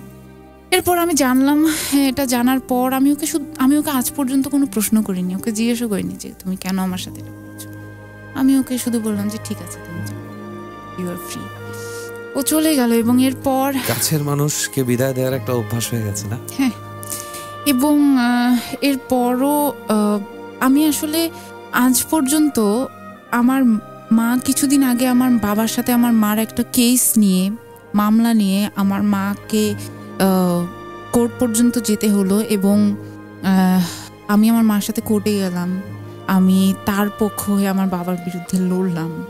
আমার মার চাকরিটা নিয়ে ওটা নিয়ে সমস্যা হয়েছিল, তার চাকরিটা সেভ করলাম। এবং যার কথা বলছি, কিছুদিন আগে ওর একটা মামলা হলো। মামলা বলতে ওর এক ফ্রেন্ডের ওয়াইফ সুইসাইড করল। ওই মেয়ের ফ্যামিলি থেকে মামলা করল ওই ফ্রেন্ডের নামে মামলাতে ওর নামটাও ঢুকিয়ে দিল। ও ওর সাথে রিলেশন নেই প্রায় অনেক দিন। তারপর আমি গেলাম ওখানে যেহেতু আমার বাবা মার ডিফেন্স থেকে। আমি গিয়ে ওকে বললাম ওর নামটা কাটিয়ে নিলাম ওখান থেকে। অনেকদিন পর ওর সাথে একবার দেখা হলো জিজ্ঞেস করলাম কেমন আছে? ওই আমাকে ফোন দিল যে ওর এরকম একটা সমস্যা। তো আমি লজ্জা করেনি তার তোমাকে কল দিতে? না মনে হয় না করল। কারণ সবাই আমাকে টেকেন ফর গ্র্যান্টেড অলরেডি নিয়ে নিয়েছে। আমার মা কিন্তু দরকারে আমাকে ফোন দেয় এখনও ফোন দেয়। এবং আমি বললাম না ওই যে আমি মানুষকে এত বেশি ভালোবাসি যে সে ভালোবাসতে একটা সময় বাধ্য হয়ে যায়। আমার মার এখন যে সিচুয়েশন সে তার এখনকার ওই হাজবেন্ডের সাথে থাকতে চায় না এবং এখন সে চায় যে আমি একটু তাকে সাপোর্ট করি। সে এখন এত একা হয়ে গেছে। কেন কেন কেন? সাপোর্ট লাগবে কেন? একা হয়ে গেছে এত বেশি? তার কথা বলার কোনো মানুষ নেই এখন আর। আমি এখন আর তার সাথে থাকছি না। আমি এখন একটা ভালো জায়গায় এই তো মিডিয়াতেই জব করছি। একটা মোটামুটি নিজেকে আমি এখন একটা ইউনিভার্সিটিতে পড়ছি। এত কিছুর পরেও, এত কিছুর পরেও তুমি কীভাবে তুমি অ্যাডিক্টেড না? কেন তুমি আত্মহত্যা করনি? কেন তুমি দশটা ছেলের সাথে প্রেম করনি দশটা মানুষের সঙ্গ নাওনি? কেন সুবিধা নিতে যেভাবে একটা মেয়েকে সবাই অ্যাপ্রোচ করে আমি ওয়ান হান্ড্রেড পার্সেন্ট শিওর না জেনেও যে তোমাকেও হাজার মানুষ যেহেতু একা থাকো। এই মেয়েটাকে বললেই তো আসবে চলে আসবে রুমের মধ্যে। এরকম চিন্তা থেকেই অনেকেই তোমাকে অনেক অ্যাপ্রোচ নিয়েছে। হ্যাঁ এই যে চাকরি করতে এসে কিংবা ক্যারিয়ার লাইফে যখন আমি আসলে খুব সহজে কাউকে আমার ব্যাকগ্রাউন্ডের জন্য জানাতে চাই না। ক্যারিয়ার লাইফে সেরকম সিচুয়েশন আমাকে হিউজ বিশেষ করে যে অনলাইন ছোটখাটো পত্রিকাগুলোতে যখন চাকরি করতে গেছি অনেক সিচুয়েশন আমাকে ফেস করতে হয়েছে। যে সিচুয়েশনগুলোতে আসলে একটা মেয়ে কখনো ফেস করতে পারে না।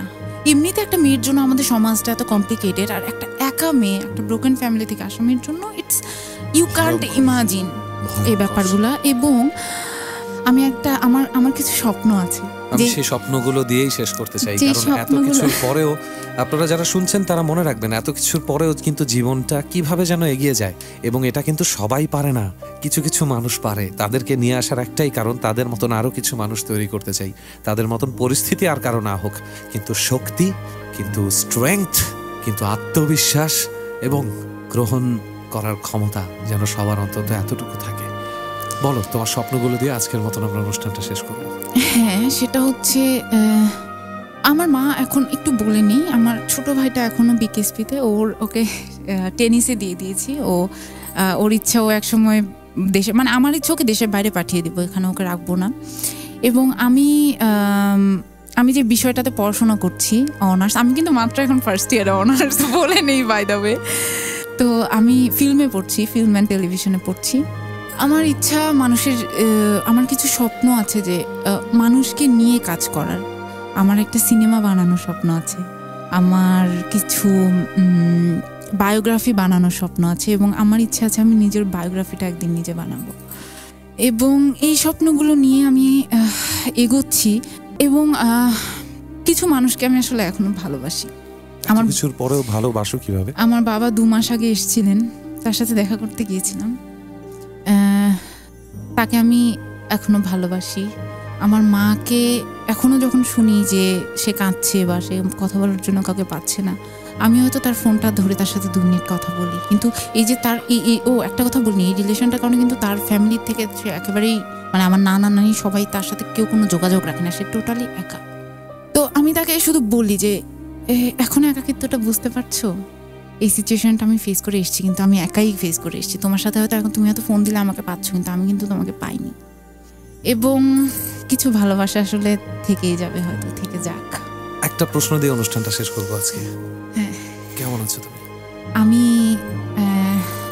এত কঠিন প্রশ্নটা তুমি না করলেও পারতে। আমি ভালো আছি আসলে। এটাই হচ্ছে কথা। আপনাদের সবাইকে অনেক ধন্যবাদ এতক্ষণ ধরে হ্যাঁ, শোনার জন্য। না তোমার আমাকে একটা নাম অনুষ্ঠান শোনার পর আমার একটা নাম বলার কথা ছিল তোমার। না আসলে একটা নাম তোমাকে আমি অবশ্যই দেব এবং তোমাকে আমার আলাদা করে কোনো নাম দিতেও আমার লজ্জা লাগছে কারণ এই যোগ্যতাটা আমার হয়নি। আমি এত বেশি কষ্টের ভিতর দিয়ে যাইনি। যারা তোমাকে শুনছে তারা বড় জোর ফেসবুক পোস্টে একটা লাইক মেরে চলে যাবে। তুমি যে বায়োগ্রাফিটা বানাবে না সেটার খুব সুন্দর কোনো সুনাম করবে তার মধ্যে কিছু ভুল বের করে তোমার সামনে এসে দাঁড়াবে যেগুলো আপনি কেন দেখালেন? এসব সিচুয়েশন তো ফেস করছি এসব মানুষ থাকবেই। কিন্তু যারা জীবনে স্ট্রাগল করেনি তারা কখনো বুঝবে না। সেটাই। তো এই ছিল আমাদের আজকের অনুষ্ঠান বলব নাকি কি বলব এটাকে আমি জানি না, এতটুকু বাস্তবতা আপনাদের সামনে তুলে ধরেছি এবং তারপরেও এই বাস্তবতার মধ্যে দিয়েও যে সামনে এগিয়ে যেতে পারে, তাকেই মনে হয় আমরা সত্যিকারের দেবী বলতে পারি। আমি জানি না নামটা তোমার কাছে পছন্দ হবে কিনা, কিন্তু তাকেই বলা যায়, কারণ এই এই মেয়েটাই এখনও সেই মাকেই মা ডাকে। আমি হলে পারতাম না। না আমি কিন্তু তাকে মা ডাকি না। আমি তাকে মিসেস রহমান ডাকি তার হাজবেন্ড এইখানেই ঘটনা। এই যে হাসিটা শুনছেন এই হাসিটা দিয়ে আজকের অনুষ্ঠানটা শেষ করব এবং আপনাদেরকে বলব যে সব কিছুর পরেও জীবনটা এগিয়ে নিয়ে যাওয়ার উপায় থাকে। There is always a turning point where you can actually settle your life and move on by yourself নিজের ওপর নির্ভরশীল হন। বাবা মা আত্মীয় স্বজন ভাই বোন প্রেমিক প্রেমিকা কিচ্ছু নেই। শুধু আপনি ছাড়া আসলে কিচ্ছু নেই। তো আপনাকে আপনাকেই দেখতে হবে। আজকের মতন এখানেই শেষ করছি। আগামী রবিবারে আবারও Bashundhara LP gas presents turning point with Rehan নিয়ে ফিরে আসব আপনাদের মাঝে। হয়তো তারপরে আরও বাস্তবের কোনো ঘটনা আপনাদের সামনে তুলে ধরতে এবং আপনাদেরকে বোঝাতে কতটা স্বপ্নের মধ্যে আপনারা রয়েছেন। যাওয়ার আগে সবাইকে একটু সাবধান বানিয়ে দিয়ে যেতে চাই যে মাটি বা ফ্লোরের উপর সিলিন্ডার রাখতে হবে। কোনো মতেই মাটির নিচে সিলিন্ডার রাখা যাবে না যদি আপনি সিলিন্ডার গ্যাস ইউজ করেন। জানেন তো আজকাল নানান রকম দুর্ঘটনা চারিদিকে ঘটছে। তো যতটুকু সম্ভব সেখান থেকে আমরা দূরে থাকব। আগামী রবিবার ঠিক চারটায় আপনার সাথে আবারও কথা হবে। এই অনুষ্ঠান নিয়েই। Till then stay tune with eighty nine point LP F presents Turning LP